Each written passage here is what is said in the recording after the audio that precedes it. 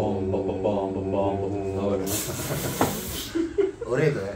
Nisem si nikoli mislil, a veš. Um, za starostnika, glede na to, kako njegovi možgani delujejo, so mu dali meritve, a ne, kako so obremenjeni. Ja. Ne rečemo, ko voz, a ne, kjer del možgani je obremenjen, se pravi ta sečnja, ki imaš vidno polje in vse to, a ne, ki gre tle čez. Ko začneš govoriti, se mu že v zadnji. Najhujša zadeva pa je, da govori z njemu ali pa da je distraktor, ko zavija levo v križišču. Je pa cela in desna in leva hemisfera čisto rdeča. Toliko obremenjeni so možgani. A lahko jaz prežgem? Daj. A boš ti jih malo prišel? Evo me, pozgi. Dal na rekord. Kdo ima noči nobili? Ciril misli, da te Argentinci. šatilke nosi, da je največji jack. Šekilke. Šikir. Ampak Dober dan. šekilke so res obstajale. Zem! Lej, te, da sta že šla, moram red narediti. Dober dan. Dobar dan. Jaz, jaz bom predstavil gosta. No, daj. Današnji gost je en tak poseben človek. Dobre. Bivši policaj, ki je postal, ki je postal najboljši prometni pedagog v državi. Jaz se strinjam. Vodja šole vožnje AMZS, pa inštruktor varne vožnje, dame in gospodje, moj sodelavec in prijatelj Manuel Pungrtnik. Je. Ej, to je bil pa tako lep uvod. To klep ga še ni naredil. Tako bil si ekonomičen z besedami, nisi šel over the top, not too high, not too low. Tako kot moramo biti na cesti. Uf, bravo.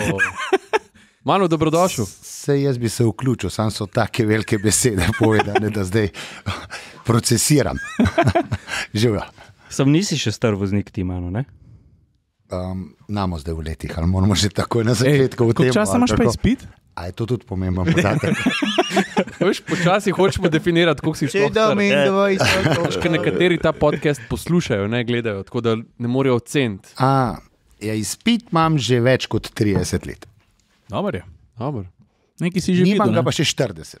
E, ampak si več izpitu dal, kot kar pobral, ne? Ja, definitivno, zato ker pobral nisem nobenega. Um, če pogledamo iz tega zornega kota, za častost jih mogoče nekaj vzel, uh, vzame jih pa pol sodišče, tako da tukaj nisem imel nadzraven. Sem pa bistveno več jim sigurno pomagal, da so prišli do izpita. To pa je res. E, a lahko jaz lahko še eh, podaljšam? daj, Zato smo pa- tukaj, dej. Knock yourself out. Jaz sem bil na parkrat zraven, pa tudi bil sem v Manotovem učnem procesu na zadnje za kodo 125. Mhm. In brez da mu piham na dušo, res je dober učitelj vožnje. Ne? Mhm. Ampak zdaj pa ti meni mano povej, najboljši feeling, ker jaz vem, da si ti, ti si do izpita spravil kar nekaj takih kandidatov, ki sami niso verjeli, da bodo še kdaj vozili avto ali pa da bodo sploh vozili avto. Ker je v najboljši feeling pri teh ljudeh. Um, pri vseh je isti. Prva zadeva ki je, da sem se ogromno naučil pri njih, um, da jih sprejemam čist drugače, kot sem sprejemal take osebe, mogoče še pred, preden sem se tega res tako profesionalno lotil. In pa tista zmaga na koncu, ko ne glede na to, kakšne hibe imaš v prometu, ko nekdo voza tabo, tega ne ve. Razen če nimaš nalepke gor. Ampak si enako dober kot vsi ostali. Um, mogoče celo včasih boljši, zato ker si bolj previden, zato ker se zaveda svojih handicapov. Saša, boš ti rekel rewind, da bom jaz. Uh, ma hotel sem, ja, hotel sem, ampak vmes mi je skočilo en drugo vprašanje. No? Pa mogoče lih, kako, kako se sploh znebiti tistega feelinga. Ne, jaz, jaz, ko vidim vsakeč avtošolo, jaz rečem, te avtoinštruktori so pa tako najbolj strpna bitja na svetu. Mhm. Ker jaz vidim sebe, da, da ne bi mogel biti tako miren. V kateri fazi izgubiš to, da, da na tega kandidata na vožnji nehaš gledati v smislu, nisi to prav naredil. Tako pač, a veš, daj, v kateri fazi se umiriš, pa rečeš, ok, jaz sem tle, da tebe učim, ne pa zato, da sem živčen poleg tebe. A si že skozi tak? A si, Od malo odvisno od človeka. Zdaj treba eno stvar vedeti. a ne. Jaz sem imel mogoče res enorm, enormno srečo, da sem imel enega za moje pojme najboljšega inštruktorja za mentorja. a ne. Žal pokojni, uh, zdravko užir iz Velenja, on je bil tak. In on je dal meni prvi napotek, ki mi ga je dal, pa ga še danes nosim v sebi. Je on mene izzival, hej, malo da mi povej, kaj narediš, ko stokrat. In tudi tako je vprašal, kako je zdaj spet. Kaj narediš, ko stokrat eno in isto stvar poveš? In sem jaz tega čisto odkrito, da se utrga se ti, kaj narediš. Prav, je, zakaj? Sej 50 ura je enako, cenovno enako, kot pa druga. Se pravi, mu pač poveš to prvič. In dejstvo je, da tudi mene zanese, da se namo na robe razumeli. Sem tako, kot vsi ostali, krval pod kožo in včasih ti res stvari enostavno ne moreš. Ampak je izredno pomembno, da znaš v prvi fazi s kandidatom tako skomunicirati, da dejansko ve, da je to za njegovo dobro, pa se znati tudi upravičiti. Čisto odkrito povedano, tudi kot učitelj vožnje, moraš včasih reči, hej, tukaj sem šel pa čez rob. Ni bilo prav, ampak dejansko, šit, nisem več vedel, kaj narediti. Se pravi, ste vsi krvavi pod kožo. Smo. Ja. Jaz zase govorim, jaz definitivno sem. Aha, okay. A pa si mogoče bolj živčen, če se voziš s komo domačih, pa sediš na desnem sedežu, ali si bolj živčen, ker imaš nekega tazga uh, voznika začetnika, ki mogoče ponavlja neke napake. Jaz sem čisto odkrit, da jaz dejansko res nisem živčen na sopotnikom v sedežu, ne glede na to, s kom se vozim. Zato, ker pač ne gledam to na tak No, način. hitreje pride do nekega izpada, kot si rekel, da ta izpad se kdaj pa kdaj mogoče zgodi. Ne? Mislim, zdaj to ni izpad, da si pulaš lase, pa da se dereš na kandidata, ne? ampak tako pač, da, da povišaš ton. Pa tudi vse vprašanje, če ga povišam, ampak bolje je, da, da pri kandidatih se definitivno zavedam svojega poslanstva, ker. Čisto odkrito, med- če, če vajo pelem, kako lahko jaz vplivam na vajo, zelo težko. Jaz lahko pametujem, lahko tukaj zelo negativno vplivam na vajo, pri, pri nekem začetniku, ki se pa uči. Uh, pa, se pa moramo zavedati, da učitelj ima zelo veliko vlogo. Kako mu kaj predstavi, na kakšen način, ne na zadnje, da smo mi tisti, ki smo strpni, tudi mene včasih kaj zelo, zelo zrevoltira v prometu. Ampak si lahko zamislite sliko, ne, da, da se meni utrga v avto, kot inštruktorju, pa pošljem koga kam. ne. To sem pač naredil zelo dober vzgled enemu, enemu kandidatu. Takrat pač poskušaš uf, zadihati, pa preživeti. Jaz imam eno vprašanje, ki je povezano z Juretom. Um, se mi zdi, da smo kar padli v tisto temo, brez da bi prav zares dobro razložili. Jure je rekel, ti si dober občutek, ti si rekel, vsi so enaki, pa nekateri imajo hibe. Da je v začetku povej, to se pravi, ti si um, pogosto v avtomobilu um, učiš ljudi, ki so tako ali pa drugače hendikepirani. Um, kaj v resnici to pomeni, kdo so ti ljudje, kako se skupaj izgleda? Je zdaj čisto odvisno. Zdaj, ja, dobo sem nek sloves, po mojem, tudi zaradi tega, ker sem na Soči zelo veliko sodeloval. ne. In dejansko sem parim kandidatom, ki so imeli takšne in drugačne omejitve, tudi pri prirejeno vozilo, pač pomagal do izpita. Uh, kako pride, pride pač tako, da me pokličejo. Um, dejstvo je, da se moram za vsakega posebej pripraviti. In prej, ko ste govorili o tem, kako je parkiramo, a ne sigurno. Oba poznamo mojega kandidata brez roka. Ne? To je bil rečemo eden izmed največjih šokov, ko sem jih jaz doživel po telefonu. a Ne? Ko me je fant klical, bi rekel, jaz bi spit naredil. Sem rekel, super, ok, povej. Jaz sem imam neke probleme, sem rekel, reci, brez rok sem. In dejansko nisem vedel takrat, kako odreagirati. A sem ga prav razumel, ali res kliče za avto, ali a ne. Sem jaz se pravi, da je še enkrat. In dejansko je bil fant izredno inteligenten, zelo razgledan poba. Vozil je na klasičnem menjalniku, se pravi, sploh nima omejitev, edina omejitev, ki jo ima, ima neko vilco na, na volanskem obroču, kamor zatakne to svojo kljuko, tako kot ima levo roko, ker ima protezo od komovca dol, medtem ko na desni je brez do zapestja, nima nič. Ampak Fant se je tako dobro naučil in predstavljati, in, in, in delati z avtomobilom, da smo res, ko smo se pelali nazaj proti izpitnemu prostoru, prvič bila na izpitu, jaz sem res sovzna rad, tako uno. Fak, če se tako čisto domač, fak, mm -hmm. naredili smo ga. pa t- A, s- a mislim, halo. In sem bil, po mojem, jaz bolj navdušen, kot je bil tam mali. Prav on je bil že prepričan, da ga bo naredil, ti si pa. Ne, jaz sem bil prepričan, ampak vseeno je to, veš, izpit je skupek milijontih stvari, milijontih, ne ene. Ne? In moraš imeti tudi malo sreče, uh, mora se vse poklopiti. Um, ko imaš pa enkrat če tega fanta, ne, za katerega misliš, veš, lahko se mu kaj zalomi, ne, ker njemu se je celo med izpitom, vmes se mu je roka sprožila, ne, ker je imel zatič, ne, elektronska zadeva. In če je malo ruknil, se mu je takrat tako, dva prsta sta bila. ne. se mu je to odprl. In takrat mu je ven skočila, iz volana in on tako z desno roko. Tako, jaz sem bil čist skoliran, zato ker to se je nama zgodilo stokrat ali pa petdesetkrat, rečemo. a ne. In tako pa se je upravičil, da je nazaj noter, zaprt in je odpeljal naprej. Um, tako, to so ljudje, ki mogoče rabijo samo maj, malo drugačen pristop. Um, se pa moraš učiti, ne. um, gluho nema. Imel sem pač uh, prevajalko za znakovni jezik, prvih deset ur, da me je osnove naučila. In na te verjel, tudi ta gluho nema, ko je fujs- face, face huda, se zna face razjeziti in takrat zna zelo dobro pokazati, da je ful jezna. a ne. A pa spustil volan. Ne, ni spustila, ni hotela spustiti. Se spomnim glih te punce, ki sem jo učil, um, ki smo delali na tem, da mora prestavljati in ne sme tega volana spustiti, mislim, ne sme volana močno držati in sem zahteval, da eno roko da na menjalnik. a ne. In to je bilo njej najbrž v tej fazi še prehiter. Takrat se je zelo, takrat je prav tako, tudi krike spuščala v avtu, oziroma tisto, kar pač oni spuščajo. Mm. In si videl, da je dejansko besna. Ampak ko enkrat spoznaš te ljudi, jaz vem, da ona tudi če je ni pogledala trikrat mrtvega kota, vedno ga je takrat pogledala, ko je bil kolesar. Tako. Imajo neke čute, ki jih najbrž mi nimamo, pa se niti ne zavedamo. Poiščeš nek, neko, neko, nek drug pogled ali pa sluh, ki ga nimaš, pa slišiš stvari, ki jih drugače ne slišiš. Verjetno.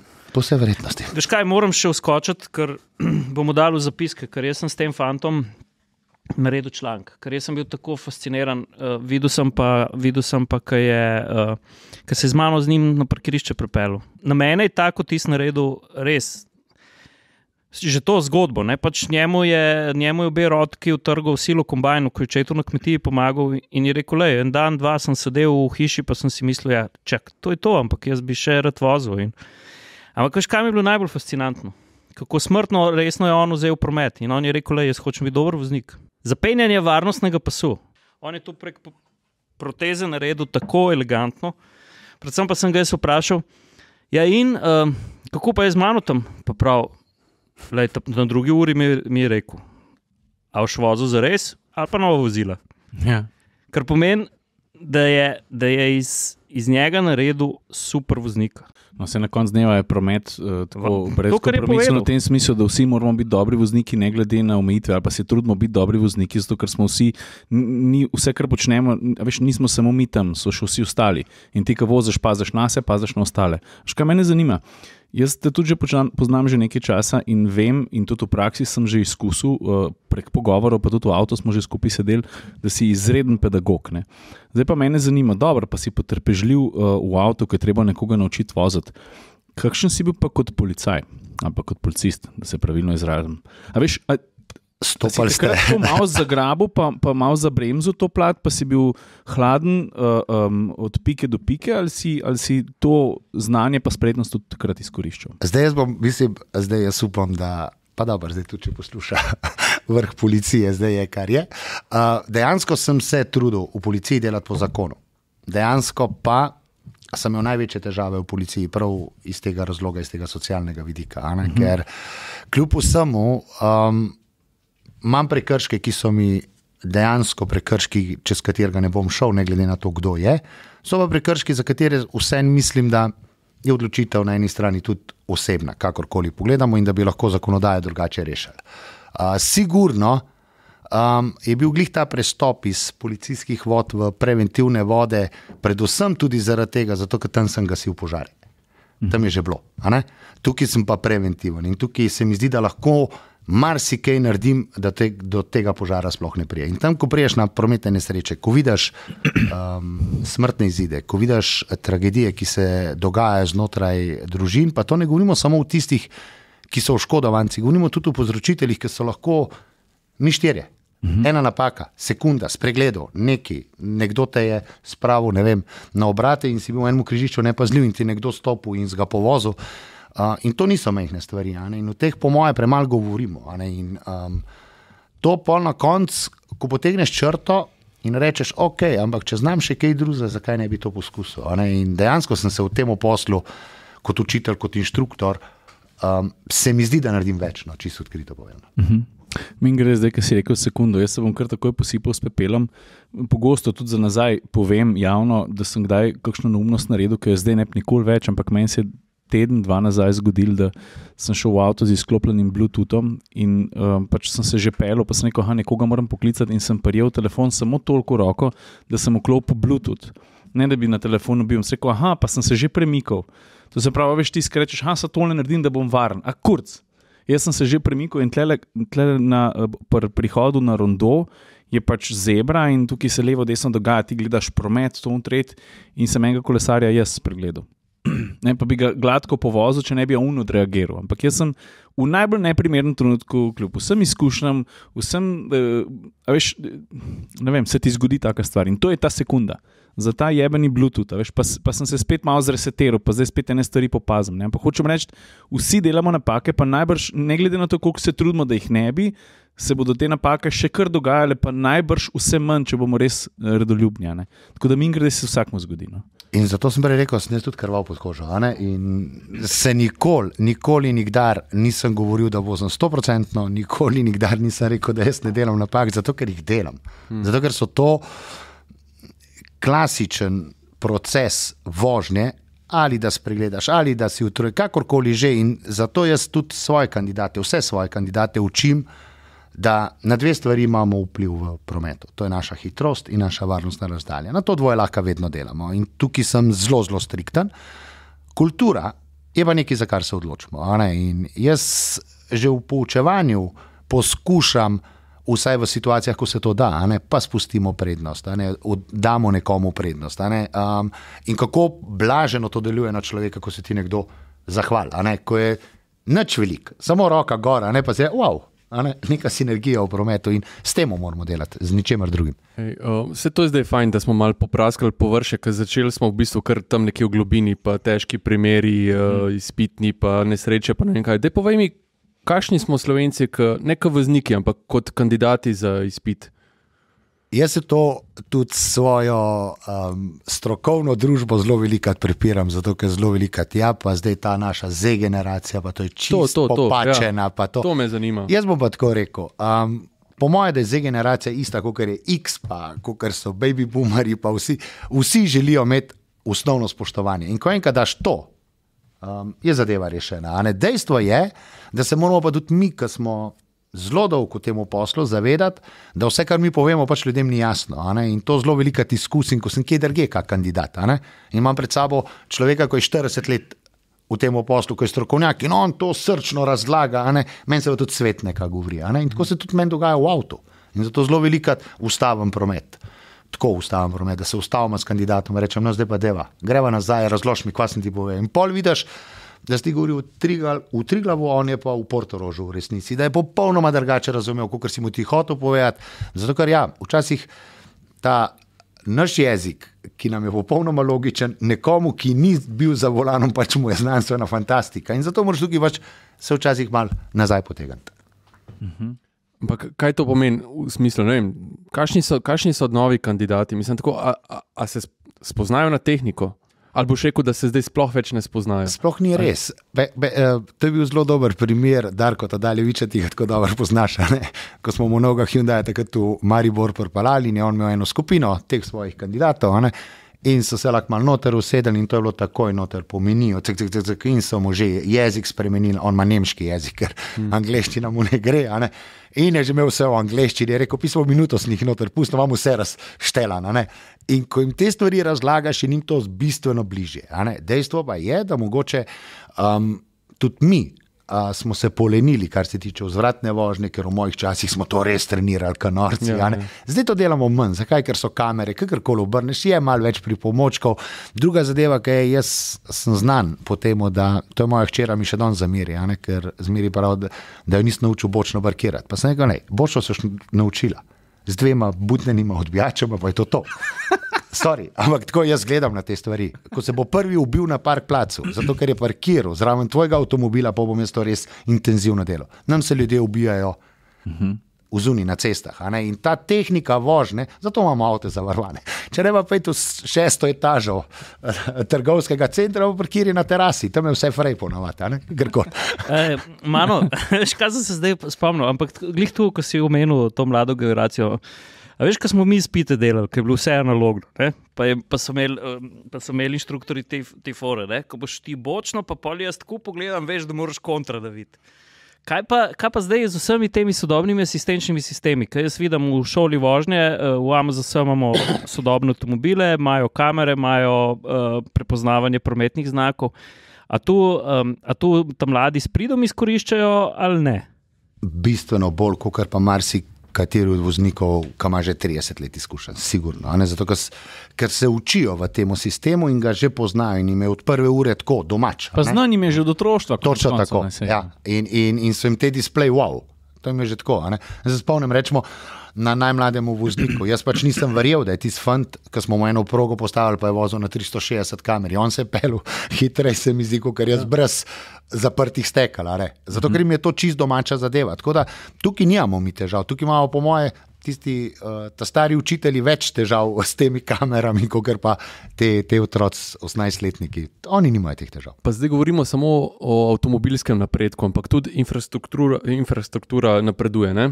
Uh, kar naenkrat smo dobili turbo rondoje, milijon nekih talnih označb, uh, ne vem, semafori, zavijanja v desno in tako naprej. Pametne znake. Pa, ja, pametne znake. Kako, kako pa oni sprejemajo te stvari? Mislim, tako lažje najbrž, kot mi, ali pa neka generacija, ki prihaja na, na obnovo vožnje. Ne? Jaz tukaj zelo hitro rečem, a ne, to je tako, kot če mu daš Apple, gor pa unta star telefon na številčnico. a ne. Pa je nam bil tisti bistveno bolj easy, kot je nov Apple, a ne. sam njemu pa ni.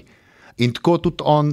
Tako tudi te kandidati danes sprejemajo turborondoje ali pa kanalizirana krožišča, kot hočete, pa dvopasovna. Zato, ker se v osnovi že uči pravilno in mu je zadeva popolnoma jasna. Sploh ne ve, da obstaja, sej pol se pokvarimo. Treba se zavedati, da pol vozimo skladno z vsem prometnim tokom in Z pač okoljem, ne? Točno tako, in pa začnemo pač voziti malo po svoje. Ej, koga je težje naučiti voziti iz, voziti iz nule? Starejše, ki zihar imaš kakšne padalce, ki rečejo, pred ne vem, 40 plus 50, zdaj pa jaz naredil izpit, pa cel life sem ga hotel. Njih ali mlajšega voznika? Zdaj moram to poslušati, ker se Definitivno eden izmed najtežjih, eden izmed najtežjih, ki ga bom imel, sedi za to mizo, ker tam me bo skozi spol spremljal. Dejstvo je, da z leti se je treba zavedati, da se vsake stvari teže naučimo, in tudi vožnje avtomobila. Kar je pa drugo dejstvo, je pa, da sem imel zdaj pred kratkim kandidatko, ki sem jo dobil za ene druge avtošole, enormno veliko ur. Um, in ko sem jo dobil v avto, sem jaz ugotovil po petih urah, sva se usedla v moji pisarni in sva naredila plan. Se rekel, le, zdaj dve varianti sta. Ali spremeniš mišljenje, da moraš voziti klasičen menjalnik, zato ker ti tehnika vožnje dela toliko težav, ali pa kup urbano za cel življenje. Ker če ne boš pungartnika plačevala res enormno veliko. Kaj to pomeni, enormno količino ur? 200 ur je imela, koliko je imela? Zdaj čisto v urah nam govoril. Okay. Jaz, ki sem jo dobil, sem imel zelo malo ur v, v, v kartonu napisanih, ampak punca po vseh besedah, kot je povedala, jih je vozila bistveno več. Um, in mi smo takrat, ona sploh ni vedela, da je opcija, da lahko vozi na avtomatskem menjalniku in da je to edina omejitev, ki jo bo imela v vozniškem dovoljenju. In punca se je odločila, ok, zakaj ne, tudi kupila si je zdaj avtomatski uh, vozilo z avtomatskim menjalnikom in je popolnoma varna, če smo čisto odkriti. Če bi jaz njo sebi spravil do izpita, da se nam na robe razumeli. Ampak prvič, ogromno živcev, samozavest njena bi bila vprašljiva, oziroma odvisno, do kam bi jo lahko spravil, medtem ko zdaj, ko smo bila na avtomatiko, je pa to zadeva popolnoma, popolnoma enostavna. In jaz zelo velika to predlagam um, pri kandidatih, za katere sam presodim, nikoli ne rečem, da moreš, ampak jim dam opcijo. Mogoče pa poskus, ne čez pet let, po vsej verjetnosti, sploh ne bo več klasika v avtomobilih. A si kdaj v bupu? A si kdaj rekel, Ne. te, te pa ni pomoči? Pa, da- pa da ima vse roke pa noge. To sem že rekel, ampak nisem v upu. To je pa druga stvar. to sem pa rekel, da pomoč. Jaz sem bil prepričan, da za eno gospo še pred fu, dolgimi leti. In vprašanje je tudi takrat, kakšno je bilo moje znanje. Morate vedeti, da sem začel kot učitelj vožnje v Kranju, ko sem bil star 24 let. Se pravi, sem se po mojem sam učil, pa sem že učil druge, a ne to je bilo pač tako malo. Uh -huh. Kaj danes gledam nazaj, ne, vprašanje, če je bil takrat dober čas. Ampak dejstvo je, da sem imel kandidatko, za katero sem bil prepričan, prepričan da če mi, jaz, jaz sem takrat tudi čisto odkrito njej povedal, ko ti naredila izpit, sem rekel, jaz imam en teden dopusti in en teden, ko bom samo pil. Je bilo to moja mama. Ne, ni. bilo. E, a kaj, pa, kaj pa fanti, si imel tudi kakšen tak primer? Um, zdaj vsi futbaleri, ne me pretepati, a ne? ampak dejansko sem imel dva uh, nogometaša, takrat še iz RK Rudar v Velenju. Jaz ne vem, kaj sta one dva. Jaz sem vedel, da one dva ogromno znata žogo narediti, a ne? Ampak kaj sta one dva znala po pedalkah delati s temi nogami in kako sta jih one dva predstavila, jaz sem rekel, to je pa znanstvena fantastika. Od leve roke na zavori. Tudi leva roka je že prišla včasih na gas, pa desna, vse posod. Jaz sem rekel, Žongleru. Ja, Peng, peng. sam ni šlo s pedalkami. tako da- Prav, on je znal valjati leva, desna, pazi leđa, vse eh, po pedalkah, pa ni Ampak to sem imel samo dva taka, da se namo na robe razumeli, ampak ta dva sta mi bila tako fascinantna, ker sta šla sta en za drugim in bila sta še prijatelja. a ne. In se fus spomnim, da sta rekla, hej, sam jaz bom ful, ful za tebe reklamo naredil, se ko rajš ne. No. Ne rabim. Ej, ej, Ja, ste hoteli v kopačkah voziti. Nista. Ej, da, nam, da te nam vprašajo, če smo kdaj kakšno nesrečo, se najbrž se kdaj kaj zgodi, ampak uh, kolikrat pa, a, oziroma tako. A zdaj bolj pogosto, kdaj sam zažlajfaš, a se je to včasih bolj dogajalo, oziroma kolikrat sploh moraš poseči. Pa koliko časa čakaš? Ko govorimo o učenju, Ja, Jaz bom rekel, da veš- zelo malkrat, zelo malkrat, zato ker poskušam vedno delati na preventivi. Bom pa rekel, da bi si želel pa večkrat na izpitih, ker tam grem pa veliko tudi čez sebe. Tako. Že skoraj malo zamižimo, kakšni rožni dolini, ne, kam da je vse ni tako mehko. In tam vemo v rožni dolini, kako je vse na knap in kaj ne moreš. Mm -hmm. Se bo sam, če bo, bo sam v gledalko šel. ampak moraš imeti samo kontrolo kar močno, glede na to, da ti najbrž veš že, že pet sekund prej, da prihaja potencialno eh, nevarna situacija. Ali za kreša za enega človeka, ki vidiš, da prihaja uh, s kolesom, ki je še 40 metrov stran. Veš, kakšno je zdaj uno um, ravnovesje, kdaj ti rečeš, ok, zdaj bom jaz posredoval, ali, ali čakaš, a bo videl ali ne bo videl. Prva zadeva, ki je moraš med samim poučevanjem, biti res po mojem.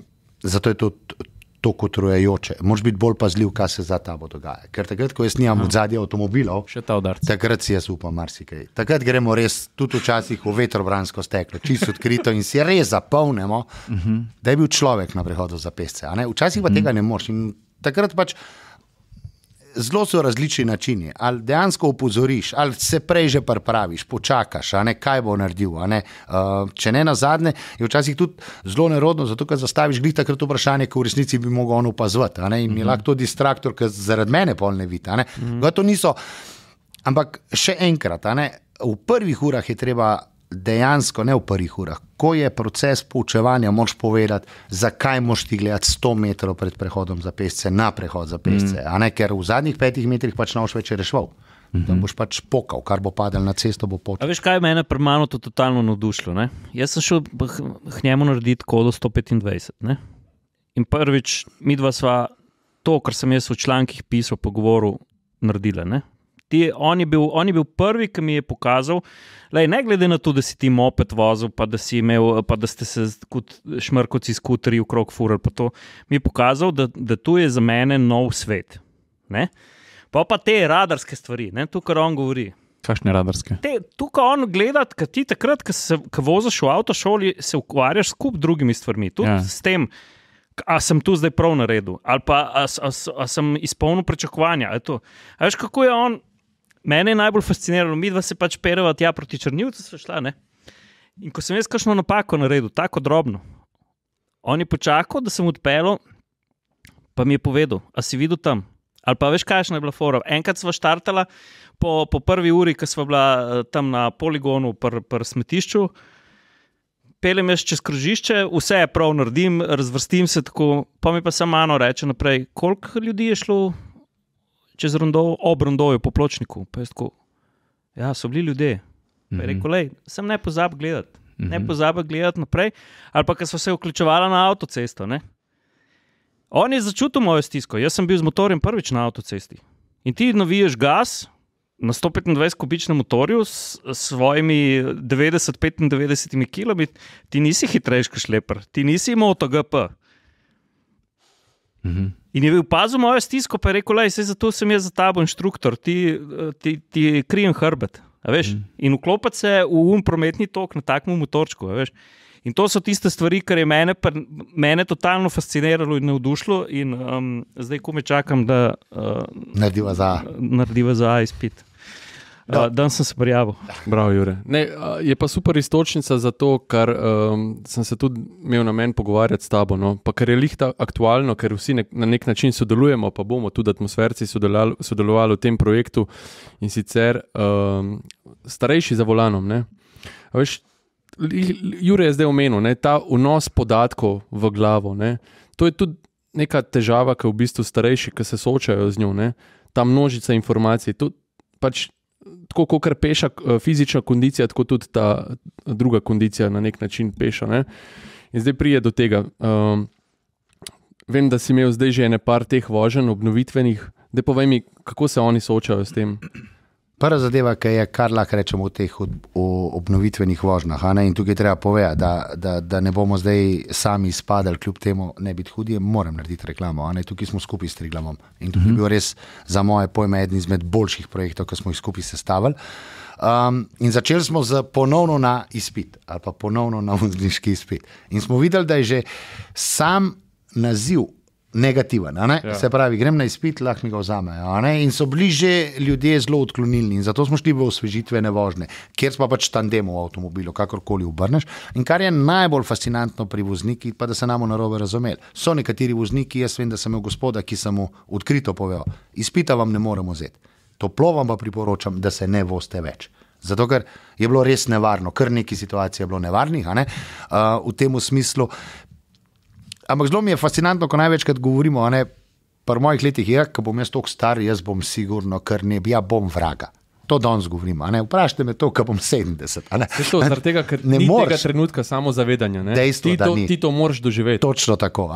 In predvsem, ko smo delali s temi, uh, ko delamo na teh osvežitvenih vožnjah, mi ugotavljamo zelo pomembno dejstvo. Zelo malo je potrebno, da te ljudje dobijo samozavest nazaj. Zakaj? Zato, ker smo prej se dobro pogovarjali. Novi avtomobili, nova infrastruktura. In mi imamo prometni znak v našem zakonu, ki je že 30 let enak, enake oblike. Sicer poznata, modar, avto je gor bil narisan. Se ga spomnite? Uh -huh. Prvo je bila cesta določena, ne, cesta rezervirana za motorna To vozila. je bila hitra, zdaj pa cesta določena za motorna vozila. In to je tretji pomen istega znaka in tretja različna omejitev. In zdaj nekdo, ki ima 40 let izpitja, z vsem spoštovanjem, pa slovenci ne beremo zakon zvečer. No, mislim, saj jaz ga ne, pa sem v tem fohu pa ga ne, ne. Ne, da ga bo zdaj vsak na mizi dnevnika bo šel zakon brati, kaj noga bo šlo.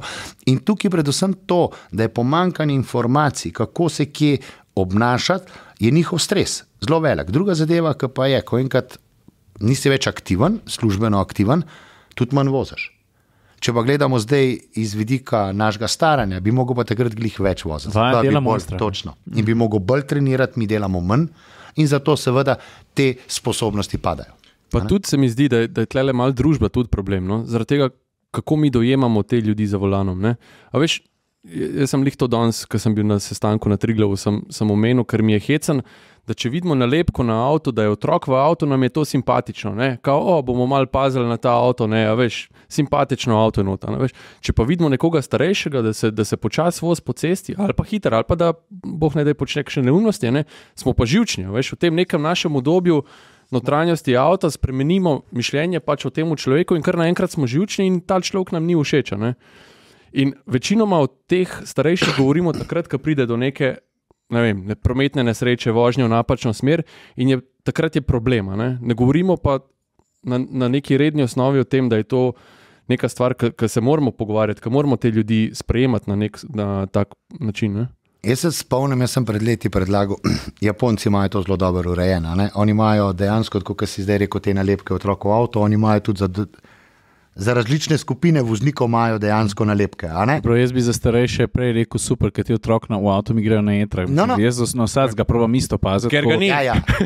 ja, tudi to. Mislim, to mi gre maksimalno etra, ampak razumem pa, da bi pa bilo fajn na drugačen način pa opozarjati pa na starejše, to pa res. Ampak predvsem to, uh, zelo dobro si izpostavil, mi postanemo živčni. In ni problem, da mi postanemo živčni. To, to, to za moje pojme sploh ni problem. Problem je, ko to svojo živčnost spravimo na tega voznika pred nami in ga dejansko spravimo v nevarnost. ne? In to je upanje na, na, na semaforjih, rečemo pri zeleni puščici. Zelena puščica jasno govori, lahko odpeljemo.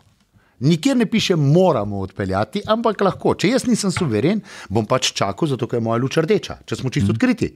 a ne? In zdaj, če imaš ti pred sabo voznika, ki je starejši, ki se mogoče prvi sooča, ja, zamislimo si, kaj mu naredimo, ko mu v zadnji. Po, pa mi vsi vemo, vsi štirje vemo, da lahko hupaš zelo kulturno, lahko si pa zelo aroganten. a ne? In po navadi to delamo arogantno. In tak voznik načeloma zelo velikrat bo odpeljal. Zdaj, če se bo v karambol spravil, oziroma če bo naredil prometno nesrečo, povejte mi, kdo od nas se bo v taki situaciji ustavil, bo rekel, jaz se upravičujem. Mm. Moja napaka, jaz sem zahupil. In predvsem tukaj, um, tako kot sem na začetku rekel, kultura strpnost. Nismo vsi tako dobri vozniki, za kar se imamo. a ne, In, in žal. Prej, Jaz- preden smo začeli. Povej, povej. Prej smo začeli snemati, si nekaj govoril o možganski aktivnosti. A lahko to ponoviš, ker se mi je zdelo to neprecenljivo. No? Zdaj, mislim, to, to jaz ne bi govoril glih Aha. tako na široko. Zakaj ne? Zato, ker Okej. to so res neurokirurgi, ampak sem imel ta, to srečo, da me res uh, gospod Zvezdan Pirtošek, da sem lahko bil na njegovih predavanjih in ko, ko on pove, kako Mhm. uh -huh. naši možgani delujejo, predvsem v starosti, začneš drugače gledati na te stvari. ne. Mhm.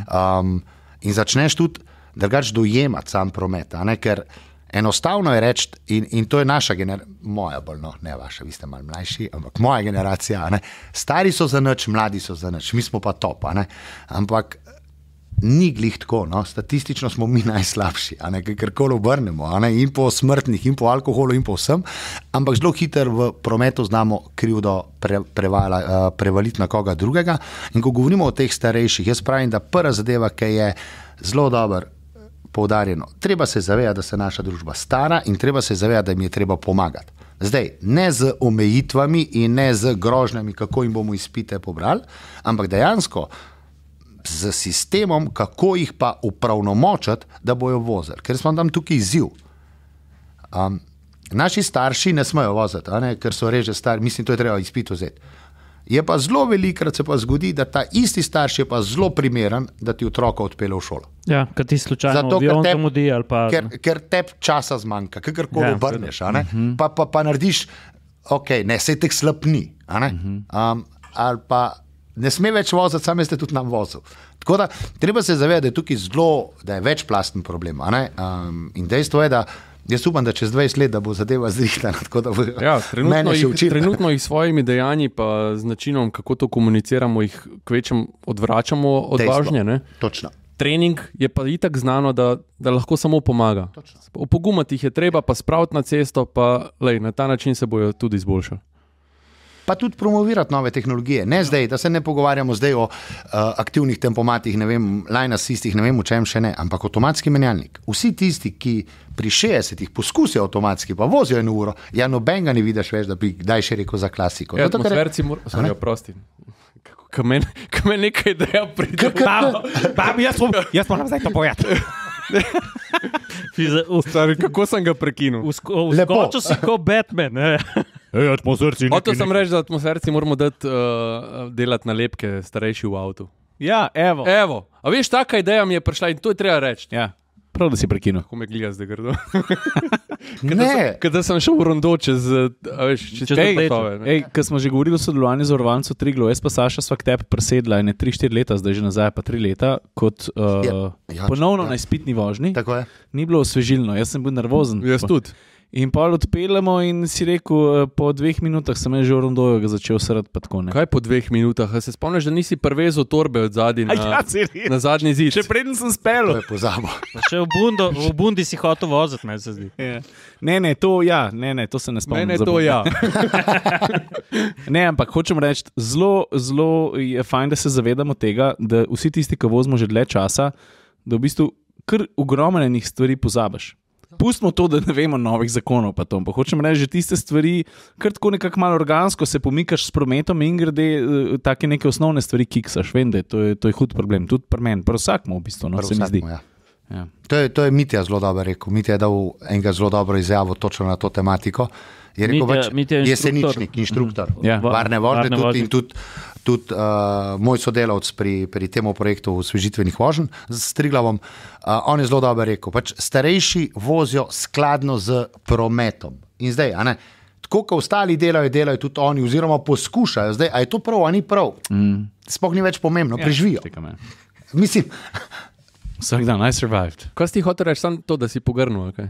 Ja, ne, Ali si hotel še kaj? A veš? Ne, hotel si sem reči, kaj Hvala se, da je pogrnil. Ja. Se sem jaz tudi, prizna. Ampak Ja. ja. jaz še zmeraj mislim, da, da te inštruktori ne, poznajo po ljubljani te neke cake. Veš, tako, pač to je njihov poligon in če, če hoče, da pogrneš, te bo pelot, ja, da pogrneš. A ja, aha. treba Daj se to, eno. daj to pa povejte. kaj To, Tre, treba se eno stvar zavedati, da če smo čist pošteni, če bi zdaj tudi mene dali v neko novo mesto, pa z nekimi cakami, sem jaz Ja. prepričan, da tudi jaz znam rukant. In tukaj, tukaj je meni najbolj fascinantno, ko se vedno pogovarjamo o domačih krajih, ker jih poznamo. Mi smo imeli s to osvežitveno vožnjo, glih to največjo srečo, da smo delali po celi Sloveniji. In, in mi, ki smo se prvi krok pelali, ko smo gledali infrastrukturo, pa se nam, Stara, si videl znak, kaj je, čak malo, čak malo, da ubere, gremo nazaj. In si dejansko spregledal. In to je popolnoma nekaj naravnega. Ne? To sem, in je neumnost, da tako govorimo, to ne moreš, to se ti Ja, ne sme, pa to se ti zgodi. Ej, ej, kaj je najnovejši znak, ki bi ga morali vsi vedeti? Recimo, mene je uh, vprašala moja punca, zdaj bom pa tunku na harti rekla.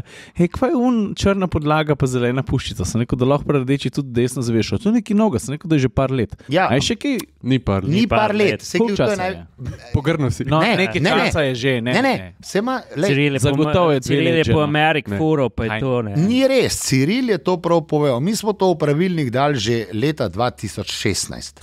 In takrat je on to videl. Ne, no. Zdaj, zdaj te pomagam, sodeluj z mano. Hvala. Ampak v zakon smo pa dejansko šele pred enim letom sprejeli. Kaj je bil največji problem? Da mi smo že prej govorili o tem prometnem znaku, uh -huh. ker še sploh ni bilo zakonske podlage. Ja, zato, ker sem bil že prej seznanjen s tem, ker spremljam in No, se učim. Ker- Ker si bil v Ne. Ameriki. A eno leto je ta znak na cesti? vse je malo več, malo okay. več je. Zato, smo zakon, ne vem zdaj na pamet, da nam. Ampak problem je bil, da tudi, ko smo to skomunicirali, se spomnim, da je bilo prvi teden, da sem videl. Par voznikov, ki so se v polno rdečo, tudi desno odpeljali. ne. A ja? In smo takrat se zelo pogovarjali o tem, da je promovirati samo na križiščih, kjer je znak postavljen, ne vseh. Mi smo pa res ameriški sistem vzeli, Cak, Kjer je označen lahko? samo tam, Ja, seveda. drugje ne smeš, a ne? mi smo pa vse posod, pa- po domače. Ciril pa pravilnike, veš, oni. Čakaj, stop. A imam prav ali nimam prav? Imaš prav. Pa, sem Ja. nisi ti to videl v pravilniku. Prej smo jaz pa Sašo videla na Dunajski tiranozaura, čista pravega. A je tako ali ni tako? Ej, a pa so sprejeli uh, vozniki ta znak? Kako Ja. se ti zdi? Ja. So ga? Jaz še Ja, ja, kar- opažam, da, da stojijo, ampak se ni nič narobe, če stojijo pri tem znaku, Problem- sam rekel. Ampak, Problem nastane tudi pri infrastrukturi. Tam, kjer je pas za desno in naravnost, pa ta znak postavimo, zdaj, če je prvi voznik, ki vozi naravnost, pač je brezpredmeten. Mm -hmm. Tako da mora biti tudi infrastrukturno zelo dobro zasnovan, kam bomo ta znak postavili in kje bomo na ta način sprostili promet. Če ga kar tako nekam postaviš, je pač. Imaš v celem dnevu deset avtomobilov, ki glih na rdeči za naravno stoji, pač ja. je brez pomena. V mano, pa smo že pri pr, infrastrukturi. Ne? Čutim. Mi, mi dva se vedno, doskrat se z mano tam pogovarjava, ker najde, mano najde probleme, jaz pa tudi, ne? se veste, kako gremo. vidva najdete probleme za vsako rešitev. Tako. Ej, ampak, lej, te, ti naši znaki ne, ob cestah, zakaj za božjo voljo so ene stvari postavljene tako nelogično, da, da praktično ti fizično ne moreš slog vožnje pravočasno prilagoditi temu, kar zah, od tebe zahteva Daj eh, primer. prometno, prometni znak. Ja, ne vem, kaj s tem, naprimer. Cona 30, ki se potegne, eh, ki se potegne uh, 500 metrov ali pa pol kilometra naprej od tam, ki ni, ki ni več potrebna, pa je avtomatsko 50, pa spet nazaj, cona 30, zato ker je tam naprimer župnišče ali pa neki neki. Dejstvo je, da tukaj, tukaj po moje, bomo mogli res ogromno še narediti. To, kar si zdaj ti rekel, je ena od zadev. Mi imamo tudi anomalije, anomalije rečemo v celju smo videli znak območja omejene hitrosti, kjer je omitev 10, nad njim pa znak 30. A ne? Se pravi, dva kontradiktorna znaka, kjer sploh ne veš, zdaj kjer, dobro, seveda se boš vozil po tisti najnižji omejitvi. Pa imamo, ne vem, na pamet govorim, kot vidimo v naselju, kjer je omejitev 50, pa damo delo na cesti, pa damo spet znak 50. Čemu ga rabiš, če je že prej 50? Okay, če si zmanjšal hitrost na 40, v redu. In ta poplava prometnih znakov je lahko včasih zelo zavajajoča in dejansko ne sprocesiraš. In, in jaz vsakmu, ki se ne strinja s tem, mu rečem, da je pel se eno relacijo in poskuši, koliko časa si znak sploh zapolniš in se zamisel, koliko je omitev. Pa zelo hitro ugotoviš, zelo hitro ugotoviš, da ti marsikera stvar tako hitro pobegne. Tako je meni. Ja, sej, Tri kazenske točke imamo v svoji evidenci. a veš, ali pa ne moreš enostavno, na, Ja, enostavno ne moreš, eh, ne moreš odreagirati pravilno. Ne? Glih zaradi takih stvari, ki si, ki si povedal. In jaz ne vem, kaj je treba. Tu je treba nek priročnik napisati, kako upremiti novo cesto. Pa se valjda so strokovnjaki. Ne? jaz mislim, da tukaj, tukaj pač uh, to, ko imamo strokovnjakov, to imamo tudi načinov. ne, Teh postavitev in tukaj samo mogli zediniti, a ne, kaj sploh rabimo v prometu in kaj je res balast. ne. Včasih je manj znakov več. Zdaj smo videli, da v Ljubljani se je začelo, da smo v uh, centru začeli pobirati dol znake za poteke prednostnih cest. ne. Um, ker je pač neka študija iz skandinavskih držav uh, povedala, da v križiščih, kjer ni znakov, pač vozimo bolj previdno.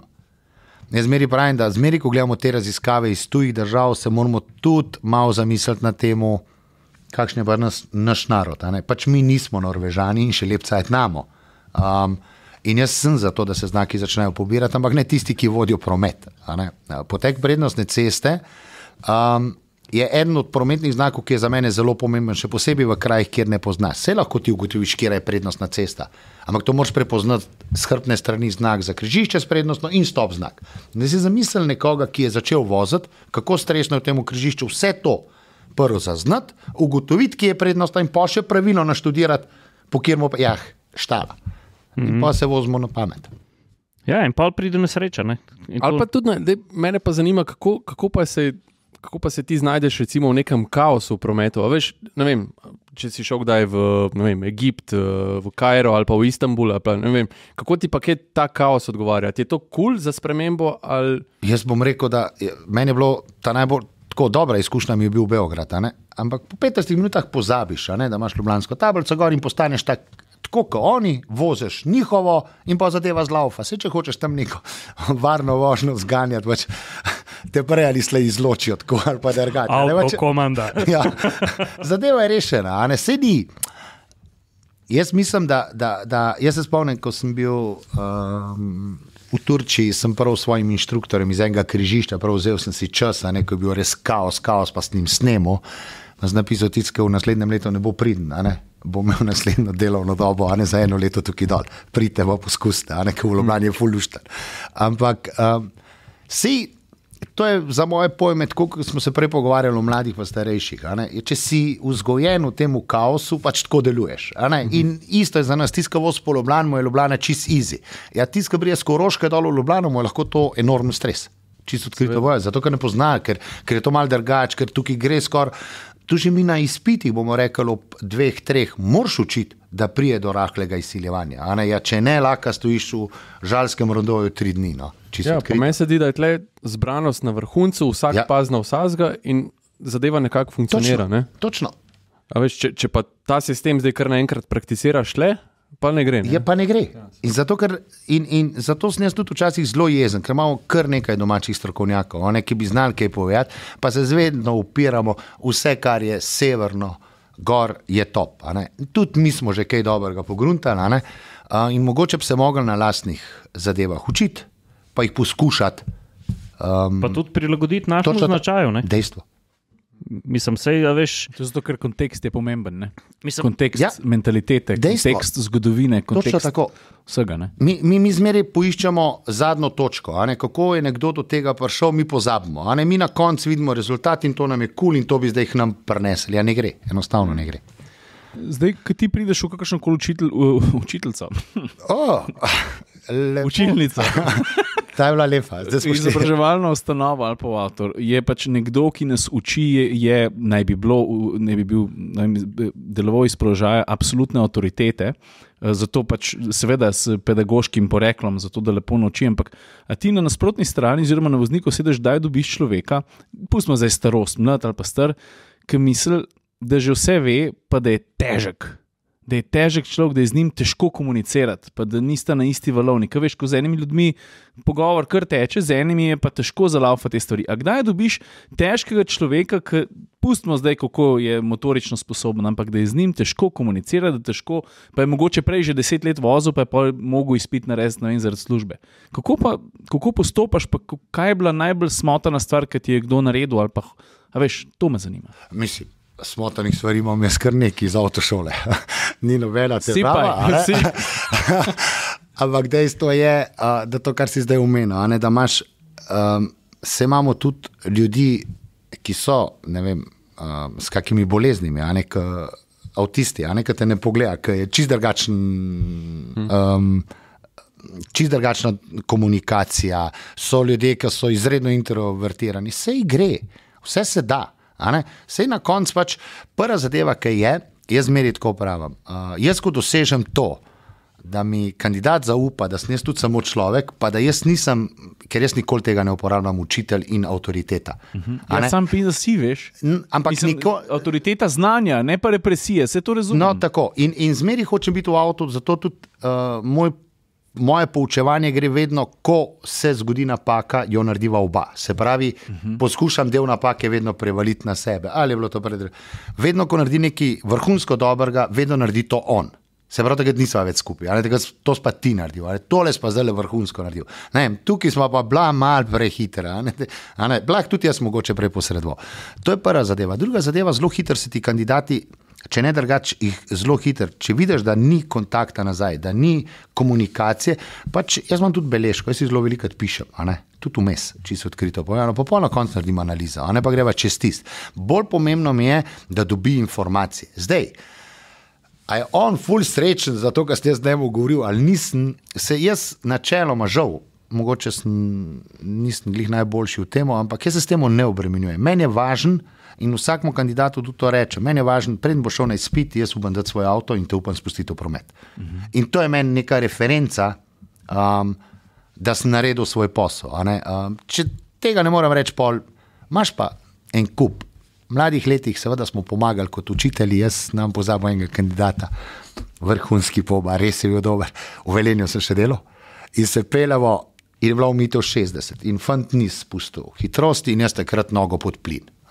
Odkrito povedano, da nam znanosti dela. In sem plin držal nazaj, smisel se bo spustil, ne se si v gor prišel. In fant pritiska na svoji strani, kanorci, jaz pritiskam na tej gor, on dol, k, duj, pa še tako malo migam z nogo, ali da si už gor prišel, kar naj ga tako čist skulirano. Ja. Tako bo govoril, manno, za klopko, za gas se je zataknila.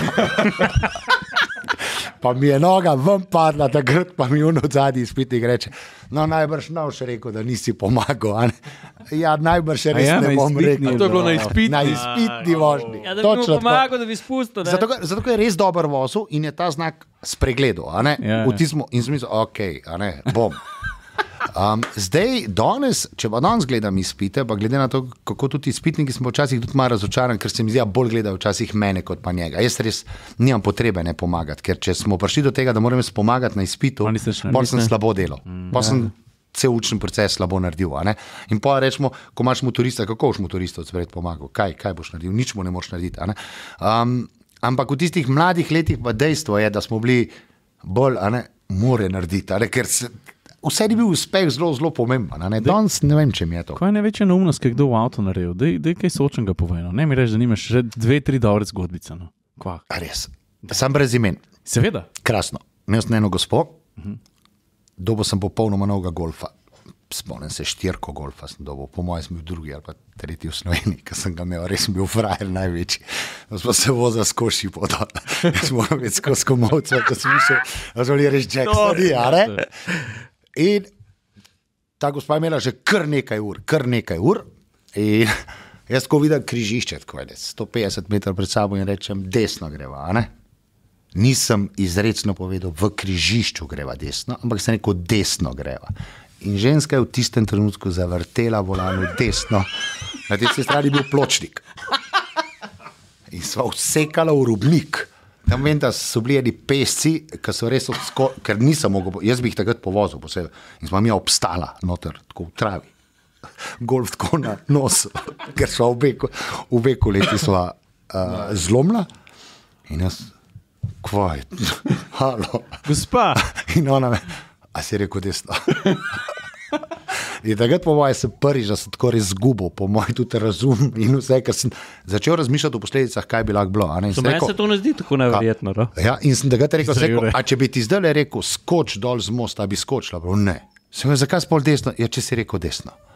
In takrat sem bolj se spomnil, sem avto dvigoval tam na vinto in smo eno gumo zamenjali in sem šefa klical. Da mi pripelje rezervo, pravi, vse imaš od zadaj v prtlažniku, da ne bo pametno, ker ti tam že na avtu, da mi še eno. Ne boš, da ne veš. Od takrat ne. vedno govoriš v križišču. Je, ne, ne morem reči, da vedno, ampak me je pa izučila tista zgodba. Ja, tista je bila tako huda, zelo, zelo huda. Um, pa bilo jih je še kar nekaj takih um, zanimivih. Imel sem prometno nesrečo na izpitu. Aha. Nekdo se je od zadaj zaletel. In je bilo najbolj zanimivo to, da dejansko takrat s kandidatom noben ni več naredil izpitane. Jaz sem imel karambol. In jaz sem bil takrat res mlečni inštruktor. In pove ta kandidat, ja, a sem. Kaj je stvar, si, reči so ga odpeljali, ne, ne vem.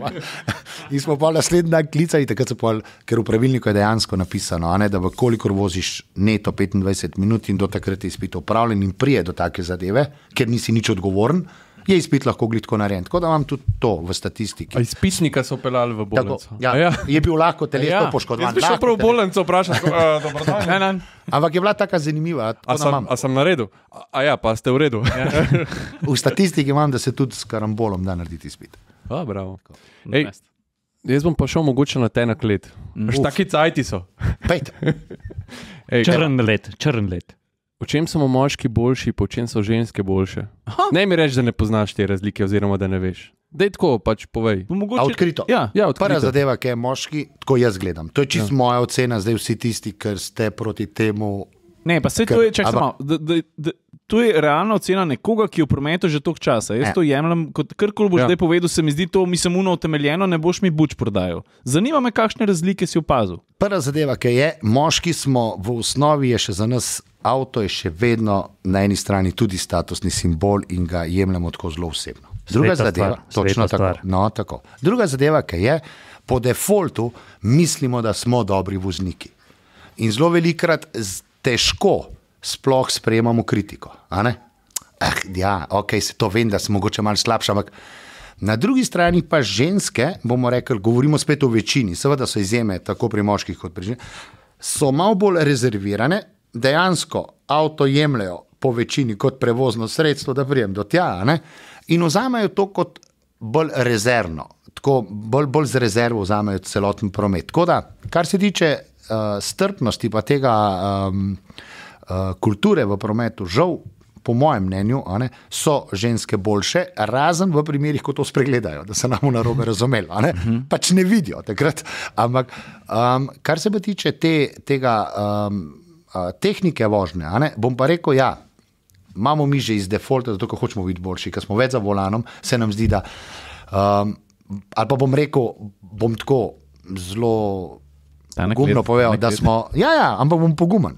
Da smo moški boljš, boljši v tehniki vožnje, medtem ko ženske so pa bistveno boljše v kulturi vožnje.